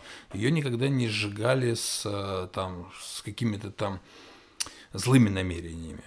То есть, э, ну, как бы у каждого, ну, в, природе всегда есть определенные циклы, да, и вот сейчас наступает тот цикл, когда зима уже, уже должна уйти, но она должна уйти, чтобы обязательно вернуться, потому что если она не вернется, то жизнь остановится. И ее провожали с почестями и с добрыми словами и благодарили за все то, что она дала нам зимой. Вот, а сжигали, ну, чтобы она ушла вот, вот через огонь, и плюс вместе с ней сжигали все то, что хотели, чтобы ушло от нас. Ну, то есть это какие-то болезни, это какие-то воспоминания, ну, а материальное, это, знаешь, там какая-то простынь, там какая-то рубашка умершего, наверное, да, возможно, просто какая-то ниточка, есть такое понятие, как науза, когда ты в узелок завязываешь свои мысли, боли, печали, горести и болезни, знаешь такое, да? Ну, когда ты просто да, берешь, да. берешь ниточку, и когда ты навязываешь, ты об этом думаешь. Да-да-да. Вот, и, соответственно, ты вот это вот все аккуратненько навязал, подумал, и во время обряда просто подвязал на эту мару. Ну вот на мара э, зима, да, смерть. А, подвязал на нее во время обряда, и потом это все сжигается со всеми нашими вот такими, знаешь, там скорбями, печалями, какими-то концами, а, все, что мы хотим оставить, оставить вместе с зимой, чтобы она это забрала. И никогда, чтобы вот именно вот эти штуки к нам не возвращались. И в этом тоже есть много, знаешь, это типа как вот, как, наверное, христиане отпускают грехи. Вот, тут проходит сезон зимы, ты все это собрал, сжег нахрен, и тебе стало легче, еще и солнце вышло, понимаешь? Вот. И еще хотел обратить внимание, я всегда очень давно как бы на него обращаю, возможно, это достаточно примитивно, но я не считаю, что Солнце это просто источник света. То есть, ну вот, вот сколько бы ламп мне вокруг не включили в темное время суток, я не буду себя чувствовать так кайфово, когда, как я себя чувствую, когда светит солнце. И это, опять же, о многом говорит о своей силе, о своей энергетике и почему вот э, я так э, люблю солнце и принимаю его больше, чем просто какую-то горящую планету. Блин, я, наверное, сейчас вообще не в тему вкину, но я э, почему-то вспомнил э, монолог Джорджа Карлина о Солнце. Э, ты, скорее всего, его не видел. Э, я тебе советую глянуть. Эм, Джордж Карлин — это известный, один из известнейших американских сатириков и стендаперов, и у него есть монолог про Солнце и почему он лучше будет верить в солнце, чем в христианство. Вот. И он очень такой едкий, смешной. Ага. Э, и причины, почему он верит в Солнце, достаточно прагматичные, но, я, но не смешные. Ну, то есть, потому что я его хотя бы вижу. Ну да. Так это есть такой, ну, есть был, э, уже ушел от нас такой Волхв Доброслав Добровольский. Он жил в свое время в Москве, очень сопротивлялся тоже там властям и всему вот этому совковому режиму, его там закрывали, короче, еще что-то. Ну и он, соответственно, в итоге продал свое там жилье в Москве и уехал в Киров, под Киров, куда-то там в захолустье, просто в лес. Отстроил там какую-то избу и стал там жить. Жить и писать книги по природе, по тому, как он воспринимает природу, как он с ней взаимодействует. Это очень крутой дядька. И вот у него есть такая тема, как раз верит в то, что невозможно проверить. А зачем я буду верить в солнце, если оно каждое утро всходит, и я его вижу? я его вижу, оно меня греет, оно мне помогает, оно меня вдохновляет. Почему я должен в него верить? Оно же есть. Пусть в, Иисуса Христа верят, потому что неизвестно, был он или нет. вот, придумывают себе что-то. Ну, такое. Вот. Он очень про, простым языком, у него классные есть труды, как раз типа там ну, мать земля, природа, и, ну, и человек, опять же, а, показывал, знаешь, вот есть какие-то такие канонические понятия язычества, да, то, что там у тебя должен быть красный кут, и в нем должны стоять там Перун, Велес, Сварог, там, и ни в коем образе там что-то еще. Но это, опять же, уже такая тема идет вот, вот, вот когда кто-то меняет просто декорации вот, не понимая сути. А у там того же Доброслава была бабочка в красном куте, потому что он восхищался бабочкой, он просто восхищался этим творением природы и считал ее божеством. Угу. Ну, блин, ну это же да, так, ну вот это же вот природа создала такое, таких вот бабочек, таких офигенно красивых, вот, и он там писал, как там бабочки между собой общаются, там тоже они там на расстоянии, оказывается, у них есть какие-то там чувства, еще что-то. Ну, блин, это интересно. И мне, мне вот такое ближе, чем, э, ну, вот реально, как там, знаешь, ты там сказал, вот этого же не сохранилось какой-то книжки. Вот. И сколько, например, у меня был период, когда я проводил славянские обряды, а, я никогда ничего не читал с книжки. Потому что я считаю, что если ты обряд читаешь с книжки, то, блин, ты просто читаешь книжку. Ну, ну это, я, ну... Я понял твою позицию. Ты все-таки больше говоришь как о каком-то миропонимании, мироощущении, и даже можно назвать это какой-то философией, возможно. Ну, как вот буддизм многие считают э, не религией, а типа философским каким-то направлением об отношении к жизни. Как э, какой-нибудь даосизм — это когда есть только путь это тоже не религия, а такое какое-то мироощущение, да. миропонимание. Это путь познания мира путем познания самого себя, либо путь познания самого себя путем познания мира. Ну, то есть это такие штуки. Как бы. Ну, знаешь, я еще так немножко отвлеченно сейчас скажу. Э, прикольно, что получилось, э, ну, скорее больше это был монолог с твоей стороны, но мне прикольно, что я послушал и чуть больше, возможно, узнал. Э, потому что обычно в компании, если заходит у меня с кем-то разговоры про религию, это скорее, ну, чаще всего про христианство заходит. И у нас прям зарубы. ну, то есть я отстаиваю позицию атеизма, ну, если человек хочет со мной обсудить что-то, да, и э, это прям спор, который, э, в котором никто не побеждает. То есть человек, если верующий, он останется при своем, я как неверующий останусь при своем, но мы будем с пеной рта доказывать, что каждый по-своему прав. Ну да, ну мне кажется, что там ну, с христианами там, ну, наверное, спорить бесполезно, если они прям вот уперты. Ну, потому что, наверное, им это помогает, либо они хотят, чтобы им это помогало. Ну, и, возможно, в этом что-то есть. Ну, если вот ему так хочется, ну, блин, ты его не переубедишь. Вот, и, ну, хорошо, знаешь, просто есть много людей, и что плохо, то, что они не знают, что они делают. Они так делают, потому что так делают другие, или они где-то услышали. Вот это плохо. А когда угу. человек угу. в этом что-то находит, и, ну, и это что-то, что он нашел, не вредит э, окружающим его людям, ну и не вредит там его жизни, его близким, там родственникам, то пусть он делает, что, что ему ну, О, хочется. Это... Раньше я был радикально настроен к христианству, я прям такой был антихристианин, что прям надо выкалывать им глаза палками. Это утрирую, но Ну, а сейчас, ну, наверное, тоже, знаешь, и годы дают, э, ну, когда ты ну, как-то каждый понимает, э, на каком, каждый находит для себя, на каком языке он будет общаться с этим миром.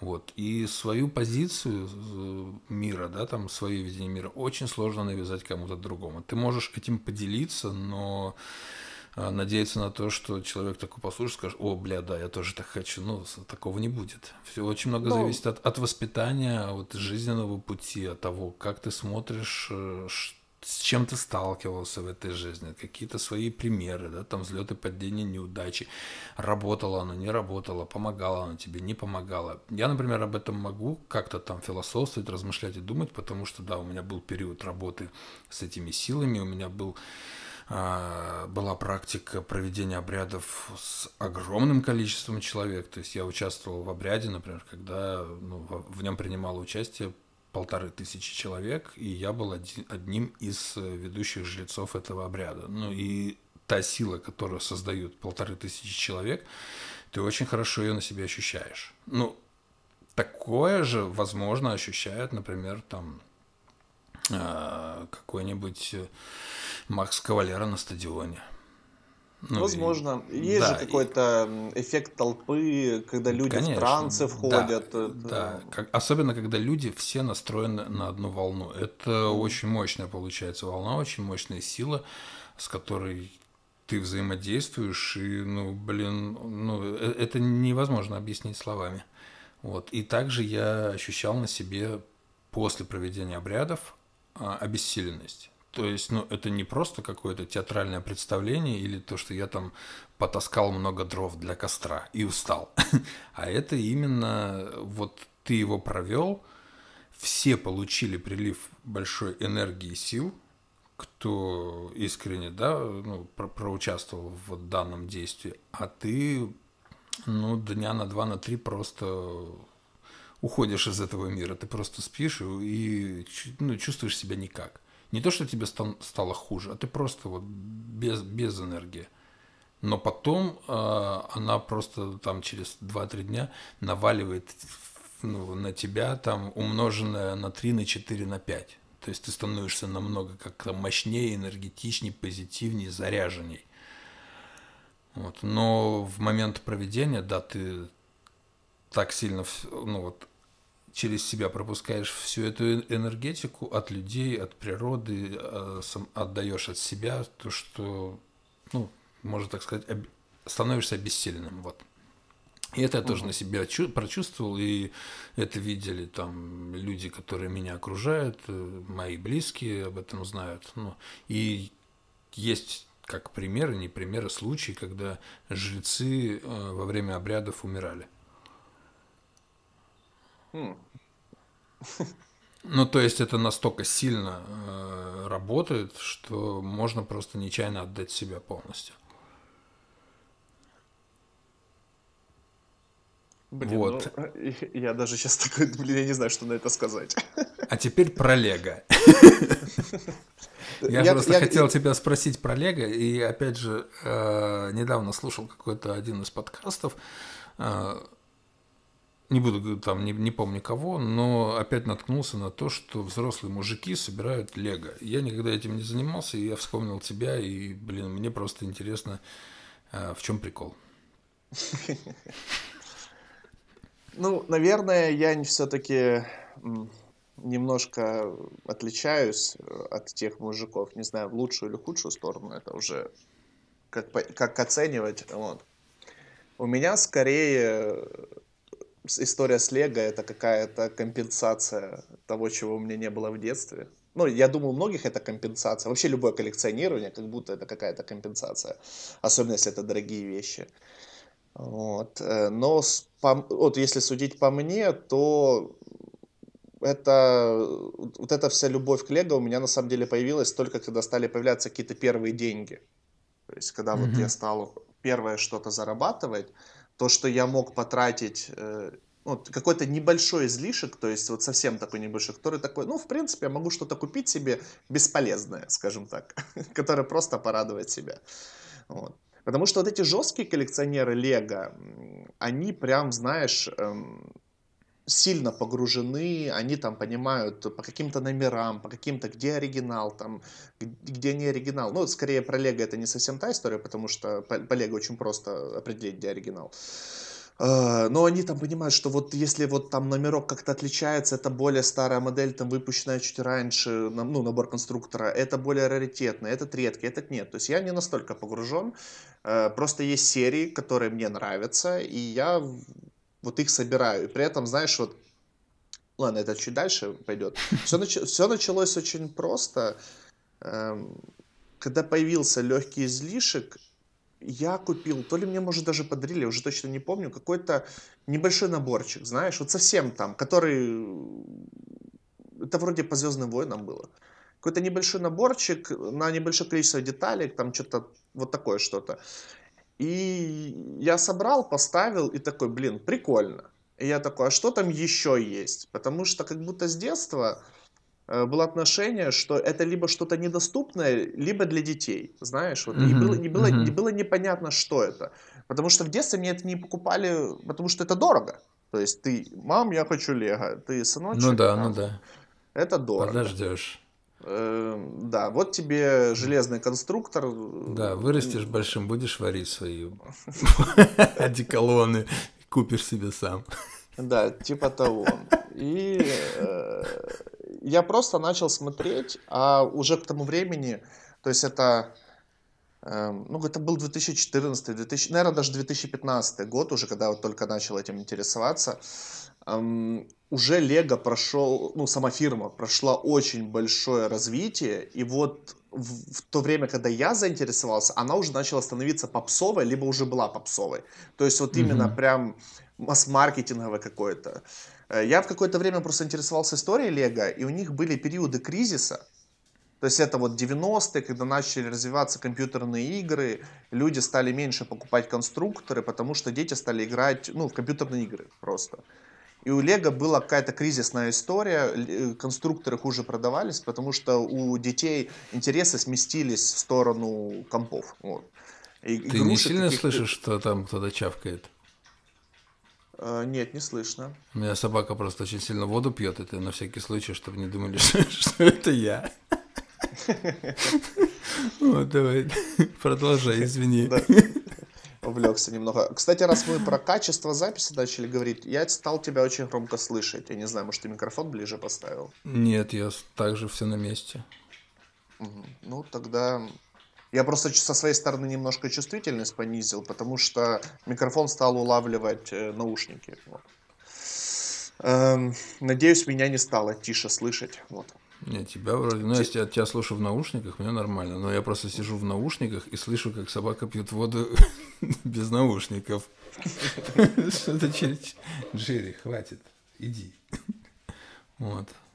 Э, так, да, да, да. Что-то это. А, ну, в общем, э, то есть получается, у Лего в 90-е был спад в продажах и в целом какой-то спад. И они ж э, потом как-то перезапустились, э, начав выпускать роботизированные наборы, биониклы, там и еще что-то.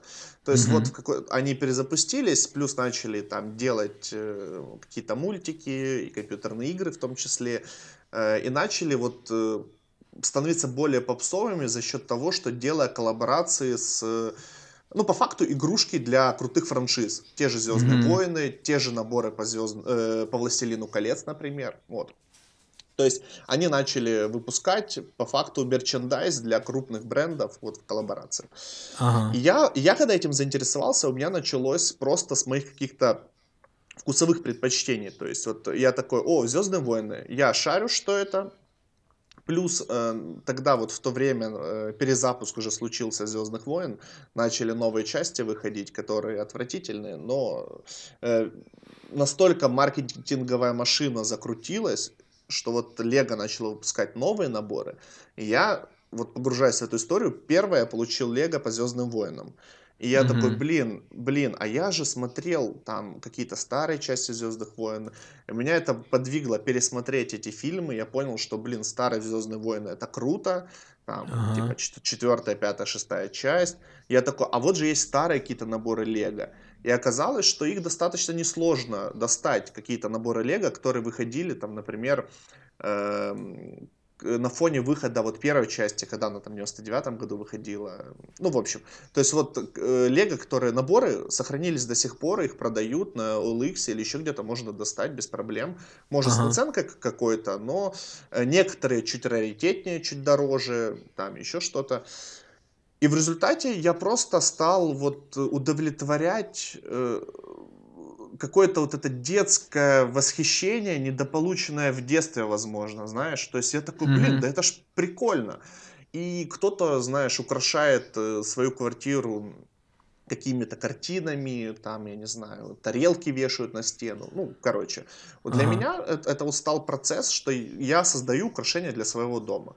То есть Прикольно. я получ, получаю набор какой-то, э, я участвую в акте создания чего-то, то есть нового. Хотя, ну, понятное дело, что я делаю по инструкции, и творчества ну, да. там не так много, именно полета фантазии лично моей. Но на моих глазах что-то создается, и как будто моими руками. И вот, вот этот весь, вот, вот этот процесс очень важен, как по мне. Мне кажется, из этого вот конструкторы и в целом Лего вот так популярны. Ты видишь на коробке результат, да? Ага.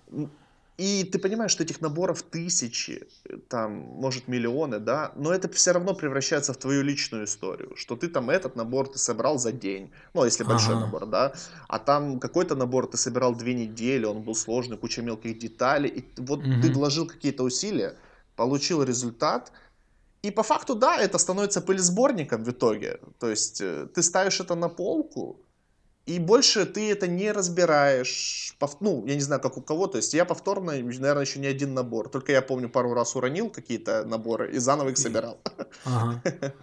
вот. То есть вот эта история, вот что мне нравится в Лего, это, во-первых, э, вот этот акт, процесс, то есть что я кайфую от сбора самого Лего, и мне потом просто нравится, как это украшает мою квартиру. Вот. И получив, вот купив первую, первое какое-то количество наборов небольшое, маленьких, да, окружающие, близкие, друзья, там, девушка э, на тот момент, Алена, да, она э, увидела, что я этим увлекаюсь, люди увидели, и мне стали это, в принципе, дарить, потому что ну, а что еще? Ну, как будто ну, сложно да. пода- подарить что-то, а тут очень простое решение. Прикольно. Вот. И у меня это дошло до того, что у меня есть очень большие наборы Лего. Вот у меня, например, есть Звезда Смерти. Я не помню уже, сколько там деталей. Это, наверное, самый большой набор, что у меня. Э, вот это, мне это подарили. Вот. Э, мне подарили. У меня есть два очень больших набора. Это Звезда Смерти. Э, просто, наверное, ты не видел, как, ну, насколько она большая. Но она, если не ошибаюсь, полметра в высоту. Угу. Короче, это большая штука, может чуть меньше. И у меня есть еще, я не знаю, просто увлекаешься ли ты «Властелином колец», но в фильме «Властелин колец» есть башня Сарумана, называется Орфтанг. Угу. И вот эта башня, вот, то есть у меня эта собранная башня стоит дома, она огромная. Эм, и вот я башню Сарумана собирал, наверное, неделю, а звездный, вот эту вот звезду смерти я собирал больше двух недель. То есть это прям, это прям, то есть по пару часов в день непрерывно я собирал, и в результате получил вот эту звезду смерти. Но это какой-то, знаешь, вот этот, возможно, инфантилизм, но это детский восторг. Ты ну, просто ну, собираешь, ага. собираешь этот э, конструктор. И с- сейчас э, я могу сказать, что, наверное, я немножко ну не то что перегорел, а остепенился в этом, потому что мне некуда уже ставить наборы Лего. Понятно. Я, я просто... Вот у меня уже две полки полностью заставлены. Третья там заставлена книгами и лего. И получается, что уже особо некуда ставить. А лего у меня есть и не собранные наборы. У меня есть эм, около четырех наборов по «Властелину колец» старых. Причем, вот, чтобы ты понимал, самые крутые наборы по «Властелину колец» выходили э, в 2000-е, в, начало, в начале нулевых, э, ну, к выходу фильмов. Там они выходили mm-hmm. э, с очередностью раз в год, если я не ошибаюсь. Там, типа, первая часть, вторая часть и третья часть, они выходили вот через год. и каждой части фильма выходило очень много лего разного, очень крутые наборы. И вот у меня наборы, вот, которые выходили тогда, то есть не к «Хоббиту», уже который позже выходил фильм, ага. а вот именно еще вот в начале нулевых, вот у меня есть 4 или 5 наборов, которые я купил через OLX, э, которые нулячие, то есть ага. они запакованные, не рас... это не пересборка. Просто многие сейчас занимаются как? Они покупают старые наборы Лего, разбирают их, фасуют по таким же пакетикам, ага. э, распечатывают инструкцию, то есть прям реально это налаженный бизнес. То есть люди, многие, есть бизнес выкуп, выкупания старого лего, расфасовки, ага. как по инструкциям это сделано, по пакетикам, распечатка инструкции на удобном языке, там на английском или еще что-то. Но там, в принципе, не важно, на каком языке инструкция, потому что они все интуитивные, и там mm очень мало слов, там все по номерам, по цифрам печатают эту инструкцию, коробку запечатывают, как будто она не вскрывалась, и продают. Нормальный бизнес. Да, да. И плюс все равно, как будто есть какая-то раритетность определенных наборов, и это продается все равно дороже, чем когда это было на релизе. Эм, и вот я, например, э, вот у меня есть часть лего, да, вот этого не собранного, вот такого прям нулячего, и у меня есть часть лего из новых серий, у меня есть э, очень большой набор Лего. Э, может, слышал, есть такой сериал э, Stranger Things. очень странные дела. Ну, вот. ну, слышал, но не видел. Э, ну, в общем, э, я посмотрел этот мультсериал, он мне понравился, и по нему вышел лимитированный набор Лего Эм, блин, я даже не знаю, как объяснить так на словах. В общем, я тебе потом как-нибудь фотку скину. Называется uh-huh. the, up, the Upside Down. Э, либо в нашем переводе «Вверх тормашками».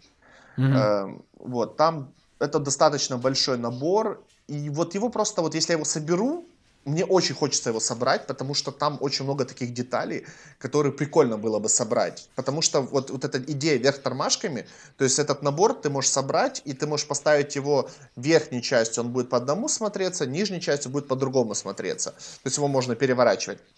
Вот. А, и, ну, его некуда ставить банально. ну, то есть я, я не знаю, куда его поставить.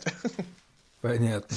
То есть, если уж вот этот весь мой монолог подытожить, я не вот этот вот задрот, который покупает наборы какие-то и не распаковывает. Вот э, в коллекционировании западном есть очень много таких приколов, когда чуваки покупают фигурки и не распаковывают их. Э, ага. Потому что не распакованная фигурка, она стоит дороже, она чем распакованная. Вот. Ну, я и понял, мног... да. Пройдет и... время, и она там будет стоить дороже, да? Да, и причем, скорее всего, вряд ли он ее продаст, ну, перепродаст в будущем. То есть это не инвестиция, mm-hmm. скорее всего. То есть он купил ее, ну вот так принято не распаковывать. И вот она стоит mm-hmm. не распакованной, куча коробок не распакованных. Вот я не такой. То есть я, э, если я куплю фигурку какую-то, я ее обязательно распакую. Мне хочется ее потрогать, ну, не поиграться, а вот хочется, чтобы она радовала меня, а не была какой-то эфемерной не, не распаковкой, да. Да, да. А, а что, чтобы она была какой-то эфемерной инвестицией, не понять во что. Вот. И, и вот мое коллекционирование вот очень избирательно. Вот есть чуваки, которые так, я должен собрать всю линейку там э, вот наборов, что выходило в том году, да, там с первого по десятый. Вот у меня должны быть все номера. Знаешь, как фишки в детстве там ага, я понял, да. Да, то есть я вот не такой. Я вот, мне нравится, например, там тематика какая-то. Вот «Властелин колец», да. Я в детстве «Властелина» и потом в подростковом возрасте перечитывал там раз пять. Uh, у меня есть история связанная, я люблю эту вселенную, там, Толкин, Ван Лав, все такое, да. И, mm-hmm. вот, и вот наборы Лего по «Властелину колец» я покупаю те, что мне нравятся. То есть я такой смотрю, не, ну это хрень какая-то. Типа этот ага. набор какой-то, ну, не очень. Я не буду его покупать, хоть он вышел там, знаешь, это оригинал, вышедший там в 2002 э, году к выходу фильма там и так далее. Не, фигня, мне он не интересен. Но при этом я нашел фигурку Сауро, Саурона на OLX, да, э, которая продавалась по какой-то смешной цене, которая выходила в том году, и она, если нажать на кнопку сзади, Саурон по-эльфийски что-то говорит, и у него ага. горят красным глаза, и я такой, блин, ну это же прикольно. Ну то есть ну, я, да. 30-летний 30 чувак, такой, блин, фигурка Саурона в доспехах с булавой, ну, блин, ну у нее нету там одного пальца. Вот пальца нет одного или там, или какого. Да, нет, даже не пальца. Паль, пальца по сюжету нет. Нету там руки, то ли. Ну, короче, что-то отломано у этой фигурки. Я такой думаю, ну, это уже не несет коллекционную ценность, на самом деле. Вот отломанная какая-то часть, ну, все уже, mm-hmm. типа, она, она поюзанная. Я такой, блин, ну я хочу эту фигурку, а найти мне ее негде, а стоит она там, типа, смешные какие-то деньги, там 100 гривен или 200 кто-то распродает там, типа, mm-hmm. не, не понимая особо ценности какой-то. Я такой, блин, да пофигу. Купил себе эту фигурку, поставил, она у меня стоит возле там монитора моего и радует мой взгляд. Понятненько. Вот. Я понял тебя. Я теперь понял, что, наверное, Лего я не буду увлекаться, потому что пусть лучше мне дарят чайники.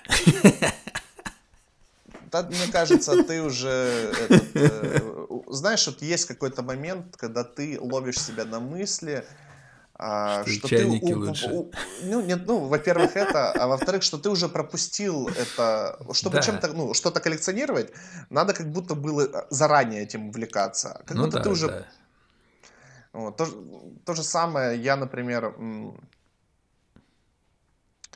в какой-то момент я себя поймал на мысли, что я хочу коллекционировать ретро-консоли, игровые приставки, там, 8-битные, mm-hmm. там, или еще что-то, потому что я как будто в детстве тоже этого не полу- недополучил, а мне все это нравится.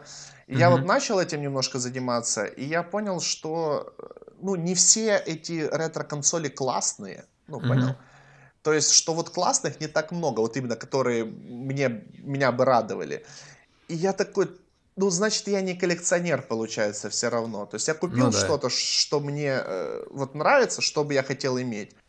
И все, я успокоился на этом. Ну, это просто, Потому... скорее всего, вот эта, да, детская такая штука, что вот очень-очень хотелось, и тебе надо как-то этот, этот закрыть, да, этот вопрос, ну, вот насладиться им вот сейчас.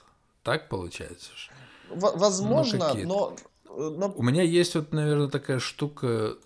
Я все время ходил в канцелярские магазины и очень сильно любил всякие ручки, бумажки, там как что пишет. И вот сейчас я, например, э, поймался на мысли, что я хочу какую-то крутую перьевую ручку и писать ей. Угу. Ну вот видишь, э, не, я просто такой подумал, ну что это не моя тема. Но я, я понимаю, о чем ты. Просто вот последние пару лет я уже как-то, как будто уже неразумно вкладывать, ну, тратить какие-то большие деньги на вот это все. Не знаю, как это объяснить. То есть я не то, что прям перегорел, но вот, возможно, у меня был вот этот вот э, какой-то хайп вот первых собственно ручно заработанных, э, ну, не то, что больших, а чуть больше, чем обычно денег. И ты такой, блин, ну, я куплю себе 100 жвачек. То есть я ага. вот, у меня, знаешь, как в детстве, типа, я куплю себе 100 жвачек и буду их жевать. Вот. Или я там куплю себе что-нибудь там прям и, и все, и офигеть. И я вот, наверное, у меня был какой-то первый момент, что я такой кайфовал от жизни, покупал себе ненужные шмотки, э, какие-то еще штуки. А сейчас как будто я, возможно, повзрослел и присытился чем-то. И я уже очень избирательно подхожу. То есть и с одной стороны, возможно, да, это какой-то инфантилизм и еще что-то, но с другой стороны, я не вижу особой разницы между чуваками, которые, знаешь, коллекционируют золотые часы, да, угу. то есть вот и у него их там куча пар, э, и, и чувак, который коллекционирует, я не знаю, там фигурки какие-то, те же лего-наборы и так далее. То есть да, коллекционирование разное, но как будто причина, ну, исходное что-то может быть одно и то же в этом, вот. Класс. Э, Два часа. Я не обратил внимания на время. Вот. Я думаю, что нам надо, наверное, закругляться. И снова мы что-то, как это, медленно не, мы, раскачали. Мы, мы нормально поговорили. Единственный момент у меня, например, то, что я не на работе, а занимаю кухню. Вот, и людям хочется сюда попасть. Я все понимаю. Не, я говорю о том, что э, в который раз мы начали за здравие, окончили за упокой. То есть мы, как обычно, начали за работу, э, ковидная история, потому что это нас окружает и не отпускает, что-то про ковид. Как-то даже мне, мне показалось, мы немножко так про ковид что-то ну, настолько уже тема эта осточертела, что мы такие уже что-то вкинули и такие, блин, да что про это дальше говорить? Не, ну мы нормально вот. поговорили, и про бега поговорили, и про э... масленицы, и лего, и, и что-то, и, и Патрика, и бородатые всякие движухи. Ну, я говорю о том, что вот, а когда мы начали уже про интересные темы какие-то, то прямо раскочегарились. Это я такой, знаешь, небольшой ток подвел. То есть мне прям понравилось. Мне, мне понравилось. Мне кажется, что э, мы э, тре- треть, вот третий выпуск есть какое-то развитие. Мы все еще не определились, какой длины должны быть выпуски. Но как-то э, тандемчик какой-то есть, это прикольно. Хотя в этом выпуске, как это можно разделить, сначала говоришь ты, потом немножко я. Такие. Диалог, ну, состоящий из монологов. Но было познавательно. Мне понравилось. Мне тоже. Ну что, всем привет, кто слушает, э, бегает, едет в автомобиле, находится в рейсе, прыгает на батуте, а, стрижет э, и так далее. Всем рады, все ваши отзывы нам очень э, греют глаз и, и слух. Да, Вов? Да, да, ребята. И отдельное спасибо всем, кто пишет комментарии. Если кто-то послушал и не оставил, оставьте, ребят. Вам не сложно, нам приятно. Главное, мы так будем понимать, что аудитория есть, и мы движемся в правильном направлении. Если есть какая-то критика, либо какое-то мнение, либо э, идея какая-то, пишите. Мы прислушаемся, ответим. В общем, мы не гордые. Все. Всем пока. Да, всем пока.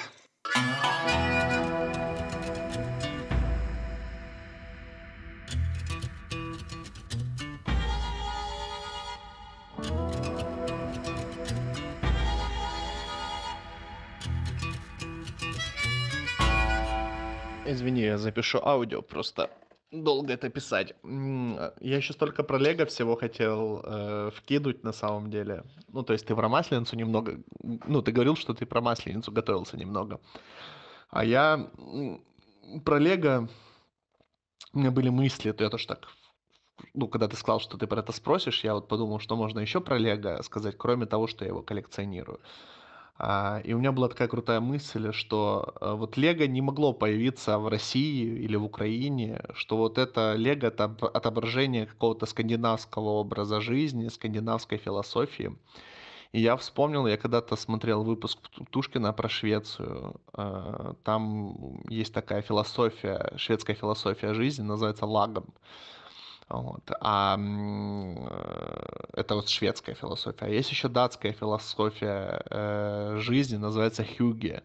И то есть, в принципе, они похожи, они отображают вот скандинавский образ жизни. И вот Лего, датская Лего, э, шведская Икея, вот это бренды, которые как будто отображают э, менталитет и миропонимание людей, которые живут на определенной территории. Вот мне хотел еще это обсудить. Но я под конец уже, когда мы начали про Лего говорить, я что-то там про за себя начал вкидывать. Я понял, что если я еще это подниму, то мы никогда не закончим. А очень интересная на самом деле тема. Интересная на самом деле тема. Интересная на самом деле тема. Интересная на самом деле тема. Интересная на самом деле тема.